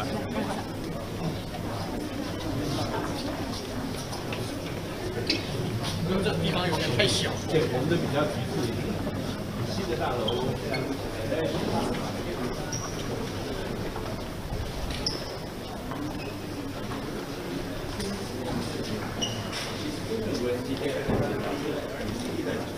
我们就做了一个飞控，其实从飞控开始切入了，逐渐开到也基本上。那大疆呢是成立于两千零六年的，公司创始的核心技术叫做飞行控制器，那也是我们这款航模产品中里面像火柴盒一样的黄色模块。它主要控制无人机飞行时的悬停以及稳定的性能。那这台呢，还是需要用户进行组装和调试才可以飞行，所以最初呢是面对一些航模爱好者。那么随后大疆在创立推出的几年呢，也是把我们的研发力量放在飞行控制系统上面，陆续推出了我们适用于一些行业、一些航模产品的 N 三和 A 三等级的飞控。飞控切入，飞行控制系统，大概这是我们一个核心技术。慢慢的开始就一体机的概念，那这个也就是目前业界大家公认大概无人机的标识嘛，就是一个四点一五的现象。那大疆在二零一二年推出了我们非常经典的白色四选一产品精灵系列，那精灵的四代产品也见证了大疆核心技术的逐渐成熟。那我们第一代产品当时是还没有自研的云台相机，下方呢是需要配备一个第三方相机才可以实现空拍功能。对它手动的严重。拍了什么你也不知道，回来把机器拿来擦了拍了不好不好再飞，而且抖动会非常严重。四个点，对，都有一个，哎，它基本上它的控制性跟稳定性是够因为我们基本上航拍的话就是需要的两个，那三个的话其实它动力的话各方面都有稳定性，就是对于这个姿态的调整。时间短时间的调整还是比较可以。那我们第二代搭载了自研的云台相机，可以在地面端通过手机遥控画面来观看到无人机在空中所拍摄一个实时图像了。那它也只能实现一个上下俯仰的拍摄范围。单轴，单轴俯仰。那我们第三代呢，增加了三轴机械增稳云台，可以来调节我们的无人机在空中因为受到一些风等外力的时候产生的抖动和晃动。那我们的第四代精灵呢？这里开启引导 A 演示一下。我开机之后呢，我的镜头呢会自动的朝向前方。那比如说我模拟在空中有一些影响的时候，摄像头是一个稳定的状态，嗯，所以保证我们的视频呢是比较丝滑和流畅的。那除此之外呢，我们前方起落架上，在这里还增加了双目视觉避障系统，它对我们的小眼睛，它可以来识别前方的障碍物，做出一些规避和刹停，保证我们飞行时的一个安全。所以我们其实在大陆很多的同学关系都是这个这样子。那大疆在二零一六年还推出了非常方便我们户外携带的折叠式的无人机玉系列。掌声拿一下，可以？你感受一下这个重量。葡萄手拿一下一点四，这个你也可以感受一下，这个一点四千克，这个是七百克。性能性能功能打折，可是体积变小，重量减半，大概是这样。对。这个就是出去比较重，那个小。你们开发这个？对，这是二零一六年九月二十八号上市，所以跟一开始创业大概已经经过了十年。对。那后面我们甚至还推出了二百四十九克的无人机，那可以再来感受一下，更加轻巧和便捷了。符合很多地方法律规定，它要求你低慢小，低不能飞太高，慢的话就不能飞太快，小就是个头不能太大。那很多人就是喊啊，喊了一个两百五十克的重就。是两百四十，这个是两百四十九。对，你刚刚讲的重量，都可以理由是什么？理由就是害怕会有一些公共安全，就觉得你飞太快了，太重了，掉下来砸到人了，各种顾虑。那所以就大概目前国际上认为两百五十克是一个普遍公认的标准。那我们的工程师就想尽办法收了一个两百四十九克。所以现在很多飞这一台的话呢，是不太需要这个实名实名注册，看这地法律的规定。我这个相对的是比较没有那么多法律比较轻。那后面大疆还把呃无人机的镜头以及影像技术推上了一个全新的高度。大疆在二零一七年将哈苏收购为了子公司，之后联合哈苏呢推出了我们带有专业摄像头的无人机。像素多少的第一台就是哈苏，这都是哈苏相机，这是哈苏。哈苏果然是一个瑞典的相机品牌。当时这个我们这边叫阿姆斯特朗，我们那边叫阿姆斯壮。上个月球拍的时候照片就是用这个相机，就是哈苏拍摄。它是一个老牌相机，它在单反业界的这个地位其实比徕卡。那现在是干嘛的？但是月球那支片中国九七零是那个那个北台北，反正那个第一张照片，哈苏拍摄。对，这个视频就是我们有带有哈苏的无人机在珠穆朗玛峰八八四八上起飞，然后飞到九千多米的高空拍摄的画面。非常的壮观。一般的飞机是飞不上去的，因为它的气空气太稀薄，它介质够，打起来动力它没有办法承载那么重。一般的飞机是不了那么对，不然的话，您看啊，为什么珠穆朗玛峰有那么多山呢？直升机救人比较好，因为直升机上去以后就，因为空气太稀薄，它的介质不够，动力没有办法。一般的飞机不是飞到，对，它是喷射机。而且它是靠速度维持它定位，那如果你要定在那个位置，它重量下降。那这边第四代消费级无人机都是我们在售的一些主流产品。那这一款呢，也是我们的旗舰机型御三 Pro。那前方呢是搭载了三摄影像镜头，包括我们主摄镜头、哈苏镜头，还有我们的中长焦和长焦镜头。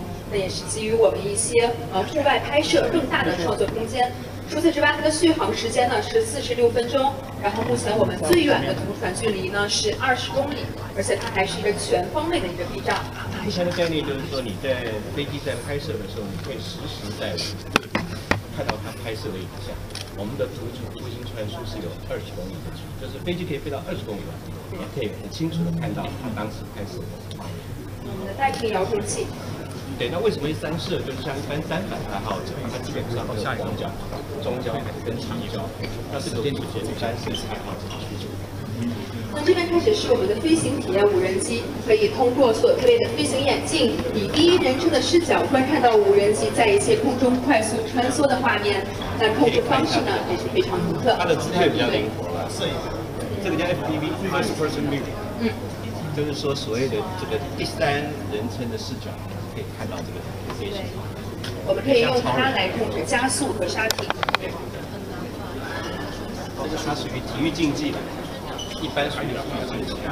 那这边是我们大疆无人机的视觉系统、自研镜头和系统电路。那目前核心的器件都是由大疆自研设计和生产的。做做镜头。那这边开始是大疆产品在行业应用领域的应用。那我们比如说可以为我们的无人机增加 RTK 厘米级的定位模块，增加喊话器、红外日成像镜头，还有多光谱镜头，应用到一些电力巡检、农业植保、公共安全，还有森林消防的领域当中。所以下面这个这个，就是说刚是消费，这边是行业级，消费型行业它是截然两个领域。当我们消费级的这个包括电脑以后。作为一个中间的，在这边，它变企业，不然的话这样子的行业如果太大，真要用的时候，它反而不在身边，因为它个头大，成本相对比较高，所以它比如说喊话器喊的声音不够大，如果它可用，就是说你在疫情期间的话，一些防控也可以用科技。它其实就是从这里开始是生产的，前面就是开玩的，对。在这一款是我们的中型行业机，下方搭载了四种融合式的镜头，包括行业常用的广角变焦热成像，还有激光雷达测距仪。那比如说像我们一些巡查工作、呃救援工作中，可以自由切换我们的传感器画面来满足不同的作业需求，为我们各行各业执行执法提供高效率的生产工具。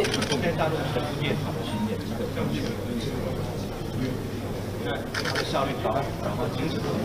放在拐角那里，拐角那里。那这边呢是我们的飞行平台 M 三五零 RTK，那也是我们目前各行各业中使用最多和应用最广的解决方案。下方呢，我们还开放了统一的接口，啊，可以搭载的相机负载，对，来满足我们不同行业的作业需求。然后我们的这个性能也是非常强大的，续航时间五十五分钟，浮船距离二十公里，同时具有 IP 五十五等级防护，就是在一些暴雨沙尘环境下也可以进行无压力的作业。那像是之前一些泥石流、火灾救援，还有一些灾害救援，都是由我们这一套设备进行实地作战的。说它这些有红外灯它可以当时是见。所以当时地貌对后来的状况到底哪里发生了坍陷，它就要有一个十八年开始如果有生命迹象，就是你可以马上推它往后退，对，就现在大概应急共用。那这边是我们的激光雷达测绘相机，在一些建模领域，我们可以使用它拍摄若干张照片，导入到我们的大疆自研的软件当中，生成二维或者是三维的图像。那之后呢，我们可以对模型进行进一步的处理，使得我们的一些测绘行业变得如此高效和简单了。那这边走了，这些是我们一些旁边的模组。那目前大疆自研的有提高了性能，缩小了成本。这也是一个行业，只是说我们把它做的比较专注。再往后退，那这边呢是大疆农业植保无人飞机的展示。目前农业无人机覆盖载重量是十公斤到六十公斤不等，根据农户的需求可以自由的选择。日常可以替代人力做一些喷洒、播种和施肥的工作。因为主要它有四方这个所以它可以打果树模式，叫做果树啊，果树是一颗一颗的。你平时是稻米或玉米田，一片来清下去。对我们来说的话，我们有视觉能力，所以我可以一颗一颗去比，所以是对农药的节省、对环境好是有很大的。那这一台就是我们的 T 六零，六十公斤的载重量，大概作业效率是六呃三百二十五每小时，相当于人力作业的一百二十倍左右的一个效率。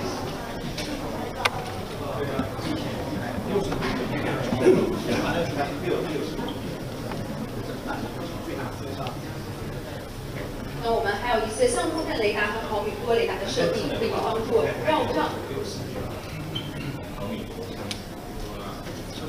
在缅甸，现在有电信、电、电，就是一般农。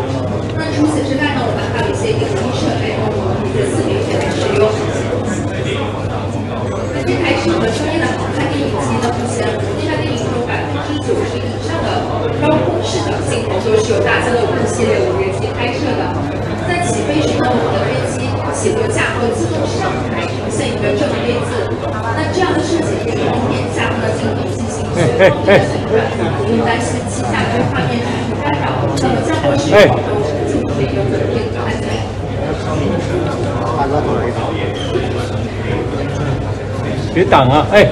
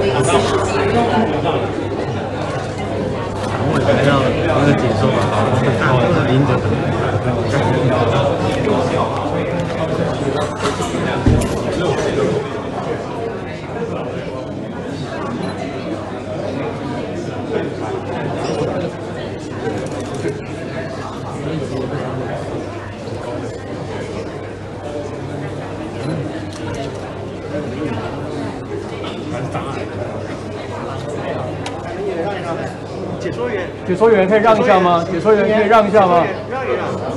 解说员挡道了。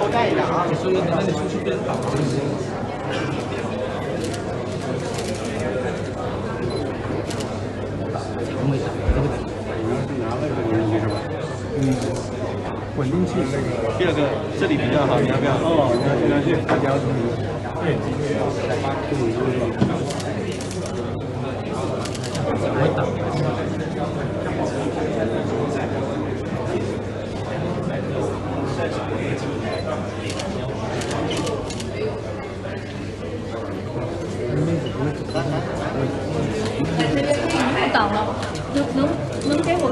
诶不好意思可以可以不要挡那个位置吗？对对对不好意思啊走远一点对往左边一点除此之外呢我们还有大师摇轮等一些资本的器材为我们的一些镜头来提供资本可以远程的通过摇轮来控制镜头的滚转该行就这样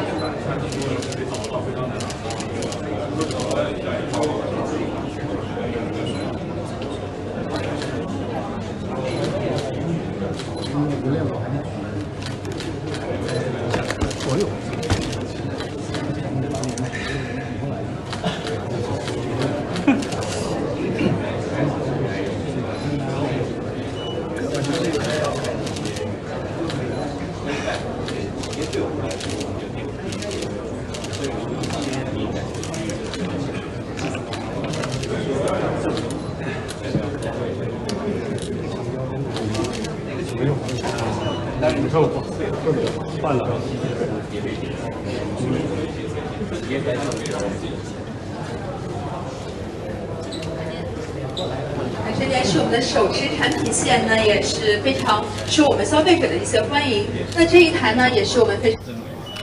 那你要知道你开的是什么？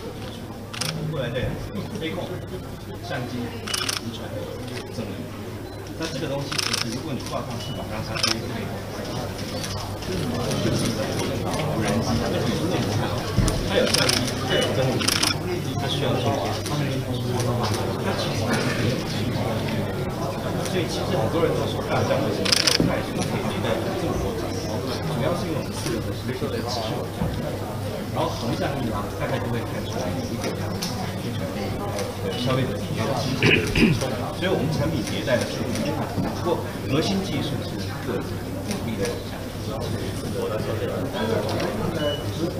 对，直播可以。对。神器，神器啊，直播机器的神器。这个这个王常委非常清楚，当时这是我们虚拟的四位，对我们非常清楚。对。那比如说我们还有很多智能功能，比如说将领导您啊可以选中，然后您甚至可以做一些锁定的移动，那它会根据您的位置来进行拍摄。跟着你走了，就你走，你走。对，你拍的时候你都不用去转了，你定位，他往哪走你就跟着他拍，所以直播很方便。那这边展示的是我们高端相机哈苏相机，那哈苏也是当时全球第一家做中画幅无反相机的生产商，可以还原我们人类肉眼所见的自然色彩。那左边这三台呢，也是和大疆合作之后推出的更加亲民的一些相机了。我们可以往这边来走一下。在找年，光是机身的镜头，单一个单挑的镜头，加上机身加起来都百万人，二十万人。当然，我们合并了以后，我们做了做了一些成本的这个这个它要求到了最高的一一项一这么多媒体，对，那有一个是正面，但后面就是我们的相机，后面就是无人机吊的拍深圳嘛，拍拍深圳，就是长三角海星的大，从海上拍过来，对，吊的，所以拍的时候有两个，一个是飞机，第二是它在飞机啊，如果相机不是它不要拍出来。那大疆在延伸装置这里同时也是非常注重人才的培养。自二零一五年开始，大疆每年都会举办我们的机器人大赛假比赛，那吸引了全球六百多所高校大学生组成队伍来进行参赛。大学生可以研制小战车、机器人等产品，然后通过赛制一些奖学金的奖励。您您您这照顾一下，谢谢啊，没事没事没事。花费很多，我觉得生活对大家的各自是大概让学生做不完手艺不完好，或者是第二个就是上次要表现好，在自己还就是大学生可以大家理解。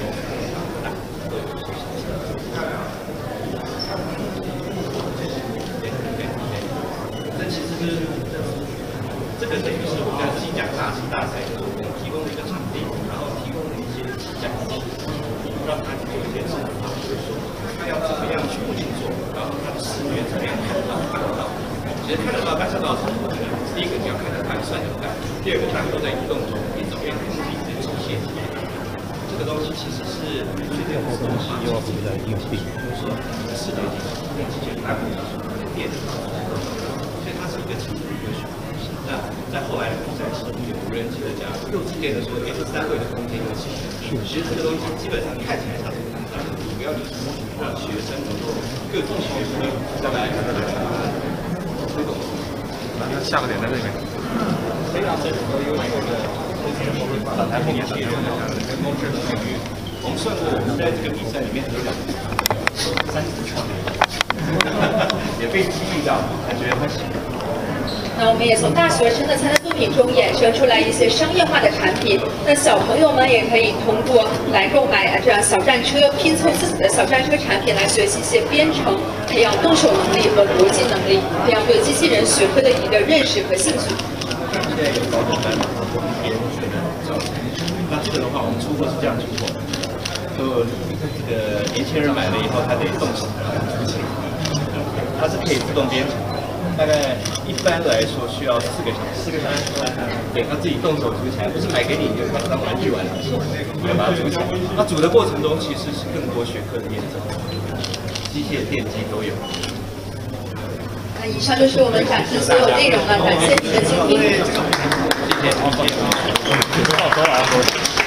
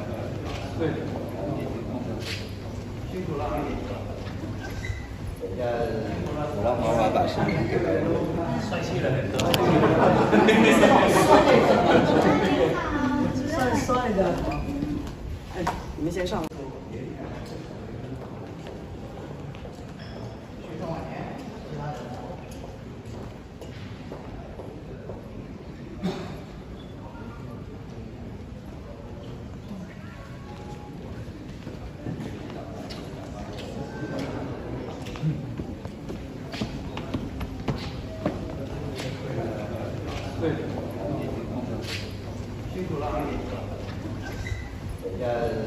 让妈妈把视频给白鹿。帅气了很多。帅帅的。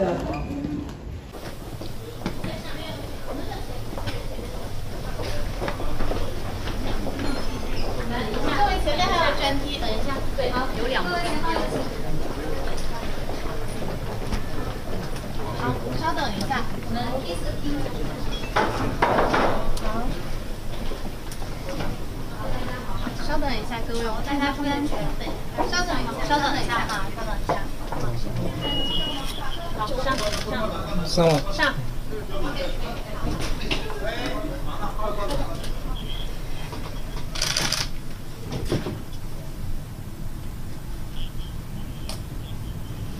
多拍点台湾镜。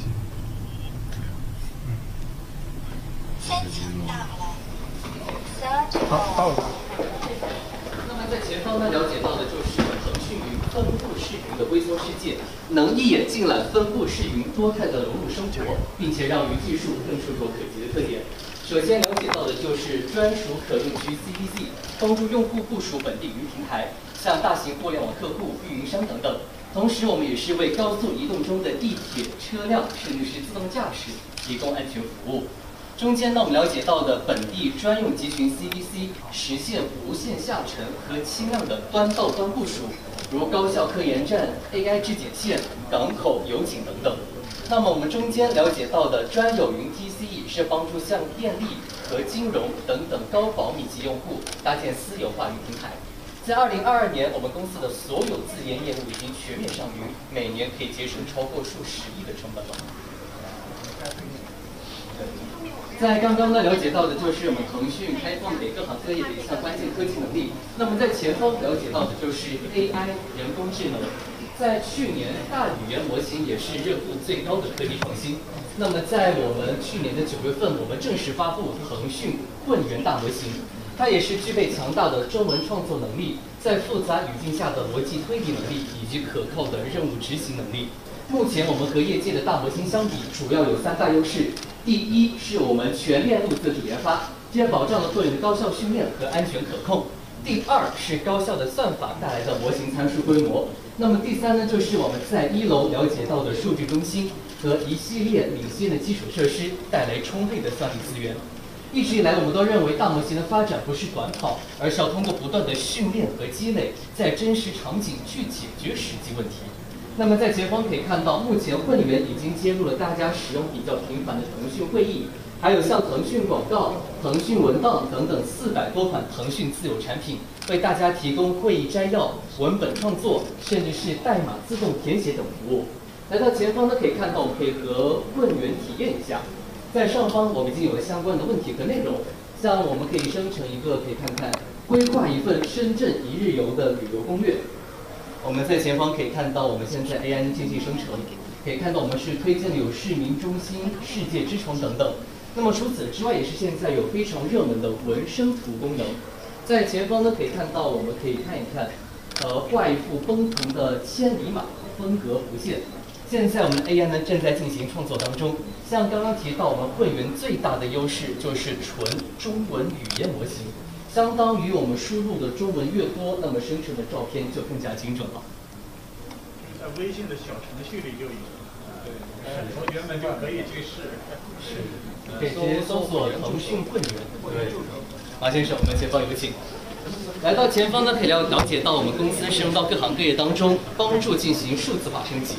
那么在现在我们许多矿区容易碰到有山体塌方、滑坡的安全事故，我们公司是根据了在音视频的技术积累，打造了低时延的 5G 视频传输技术——腾讯云无界。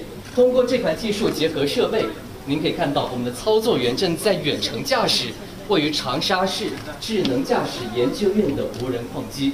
像刚刚也是提到，我们最关键的就是低时延的传输技术，我们已经降低在了一百毫秒左右，相当于就是您眨下眼睛的时间进行实时下载。是，建筑师正在进行实时操作。这边请。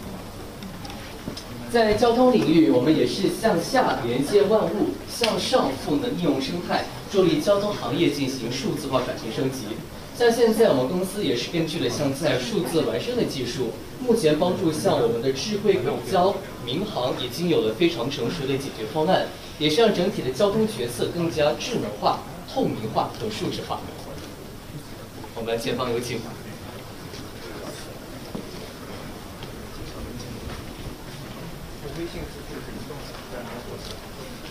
好，现在是邀请马先生可以来到我们展厅中间的位置。我们通过前方的视频来了解我们腾讯相关的文化内容。尊敬的各位来宾，你们好！现在让我们一起走进一段数字文化之旅。在这里，我们用数字创造力延伸文化的无限想象。腾讯游戏作为全球领先的游戏开发和运营商。致力于以数字化互动体验，探索更多未知的可能，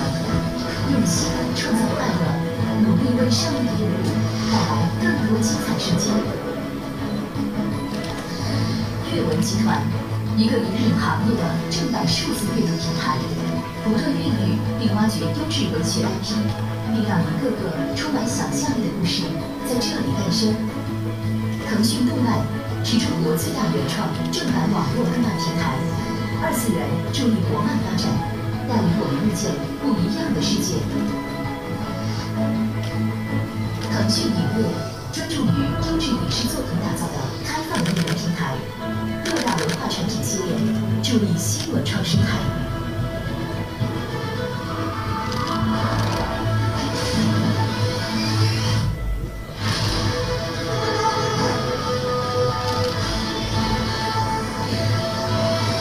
腾讯电竞坚持捍卫每一个关于热爱的梦想，为每一颗不服输的心加油，致力于推动电竞行业发展，是中国最领先的电子竞技运动品牌。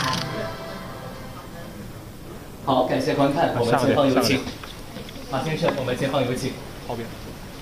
除了我们刚刚提到的游戏，那么在前方了解到的金融科技也是我们重要的一个营收板块了。前方可以看到就是我们带来的微信刷掌支付，我们是把它放在了在日常生活中借充电宝的环境，可以看到到完成抬手的动作之后，就可以完成非常便捷的刷掌支付了。像现在微信刷掌支付已经在我们公司全国办公点落地，我们通过刷手掌在食堂吃饭、领取快递，通过闸机，并且的话现在也是会大力推广在更多地方进行落地了。它主要是那个掌纹可以人外检测到你的境外的图像，就每个人就不一样。你登记之后，下次就人脸就比较敏感，是吧？指纹还是接触，那这个就比较不用接触，也不用掏手机，最方便。它直接识别我们这边看进来。我们前方有请。那么在服务用户领域，我们公司除了刚刚提到的游戏和金融科技，更是通过我们相关的 AI 技术、游戏引擎技术，并且相关的 AI 技术也是帮助用户来打造相关的一些助力文化的一些传统建设。那么前方可以了解到，包括像有云游长城，还有像您在前方。对，可以了解到像有敦煌、故宫、长城等等，也是让传统文化焕发全新生命力。好，我们前方有请。在二一年四月份，我们公司也是宣布了第四次的战略升级。我们是提出可持续社会价值创新战略，也是国内首家把社会价值纳入公司核心战略的企业。那么在同年八月份，我们也是宣布启动共同富裕专项计划，更多的是乡村振兴，立足当下。现在我们公司也是希望配合我们相关的生态合作伙伴，在社会互惠的十大领域持续助力履行企业的社会责任。像现在来到前方，您了解到的就是我们在银化科技领域打造的相关的产品了。像现在了解到的就是我们打造的助听器。像现在大部分的助听器，它的造价都比较昂贵，最便宜都是超过了几万块钱。我们现在是把腾讯会议同款的智能降噪技术作为公益项目，免费开放给了合作伙伴，打造了这两款智听助听器。目前只它的价格降低在了三千到八千元的区间了。是，而且最关键的是，我们现在已经服务了国内超过四百万名的听障和听弱人群了，帮助他们听得清、听得真、听得准。它要用 AI 技术，它每个人单独做一个调音室来当他的主持。这里面用了我们会议的一些 AI 技术，技术有效果。在前方呢，了解到的也是我们打造的银领守护卡，扩大老年人的生活半径。像您在前方可以看到，是我们携手的合作伙伴帮忙打造的老年人使用的手机。在前方可以看到，我们可以在手机上方进行微信通话，这样子老年人就可以通过这些非常简洁的功能进行接听了。那么在前方呢，了解到的也是我们打造的银领辅报机。对，像现在银领辅报机可以看到，对马先生，您可以看一下在前方的视频。它的操作非常便捷，因为像现在我们国内大部分的失能老人是其实占了我们这边的百分之十五左右。但现在的话，大部分的辅报机，第一点它的价格比较昂贵，十万元左右，并且不太符合我们亚洲人体格。我们公司是花了两年时间研发了这款银发辅报机。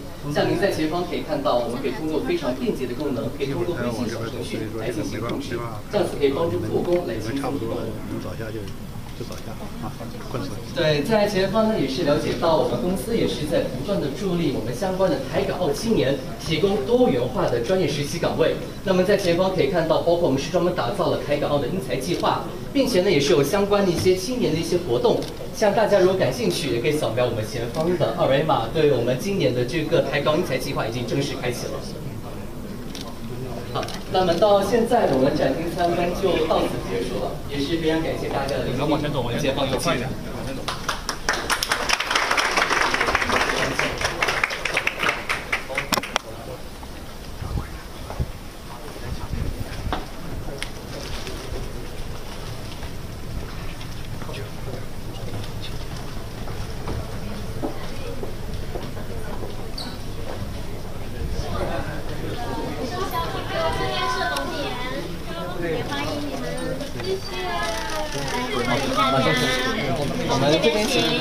小心，小心。哎，没有拿礼品的都可以到这边拿一下。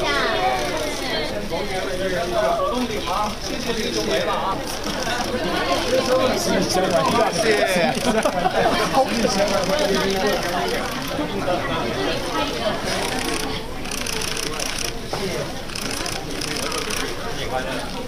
给我看一下，给我看一下。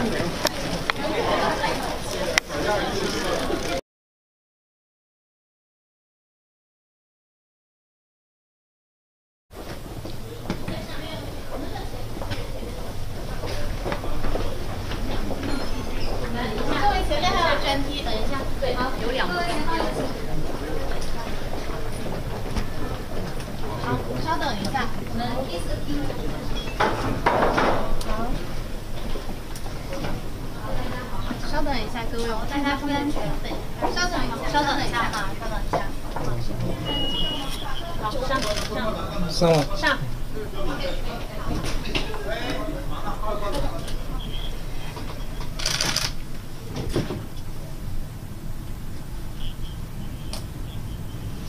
多快点，太安静。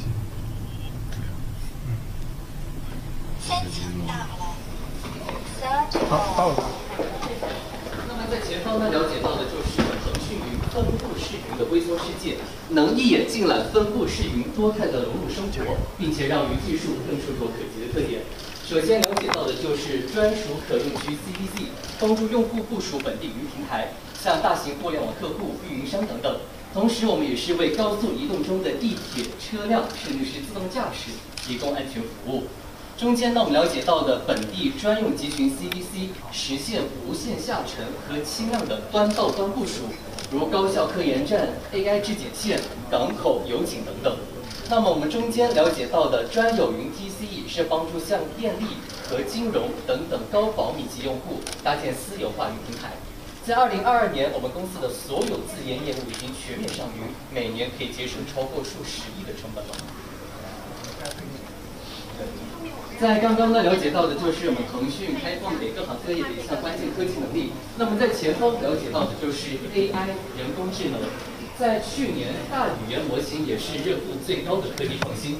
那么在我们去年的九月份，我们正式发布腾讯混元大模型，它也是具备强大的中文创作能力，在复杂语境下的逻辑推理能力以及可靠的任务执行能力。目前我们和业界的大模型相比，主要有三大优势。第一是我们全链路自主研发，这保障了会员的高效训练和安全可控。第二是高效的算法带来的模型参数规模。那么第三呢，就是我们在一楼了解到的数据中心和一系列领先的基础设施带来充沛的算力资源。一直以来，我们都认为大模型的发展不是短跑，而是要通过不断的训练和积累，在真实场景去解决实际问题。那么在前方可以看到，目前混元已经接入了大家使用比较频繁的腾讯会议，还有像腾讯广告、腾讯文档等等四百多款腾讯自有产品，为大家提供会议摘要、文本创作，甚至是代码自动填写等服务。来到前方呢，可以看到我们可以和混元体验一下。在上方我们已经有了相关的问题和内容，像我们可以生成一个，可以看看规划一份深圳一日游的旅游攻略。我们在前方可以看到，我们现在 AI 进行生成，可以看到我们是推荐的有市民中心、世界之窗等等。那么除此之外，也是现在有非常热门的文生图功能。在前方呢，可以看到我们可以看一看，呃，画一幅奔腾的千里马风格不限。现在我们的 AI 呢正在进行创作当中。像刚刚提到，我们会员最大的优势就是纯中文语言模型。相当于我们输入的中文越多，那么生成的照片就更加精准了。在微信的小程序里就有，对，同学们就可以去试。是，可以直接搜索腾讯混元。对，马先生，我们前方有请。来到前方呢，可以了了解到我们公司深入到各行各业当。中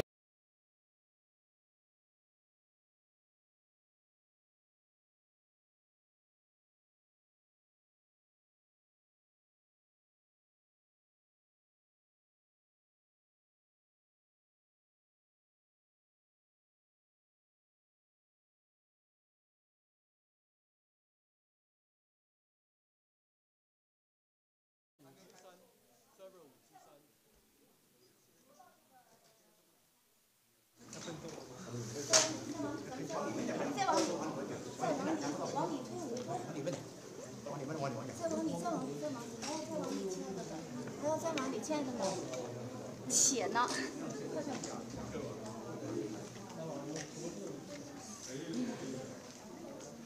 我给大家讲一下今天的流程安排。一个是宋主任会在大家现在站的位置上跟学生们握手，那这个握手呢是我们的官方设计和海峡两岸和我们的代表还有党员。再再往再往再往再往后再往后再往后，这这这地方不是照相的地方没关系，往再往后再往后好吧，对不起啊，再往后。伟伟，再往后点。再往后，再往后点。我们把这个通道让。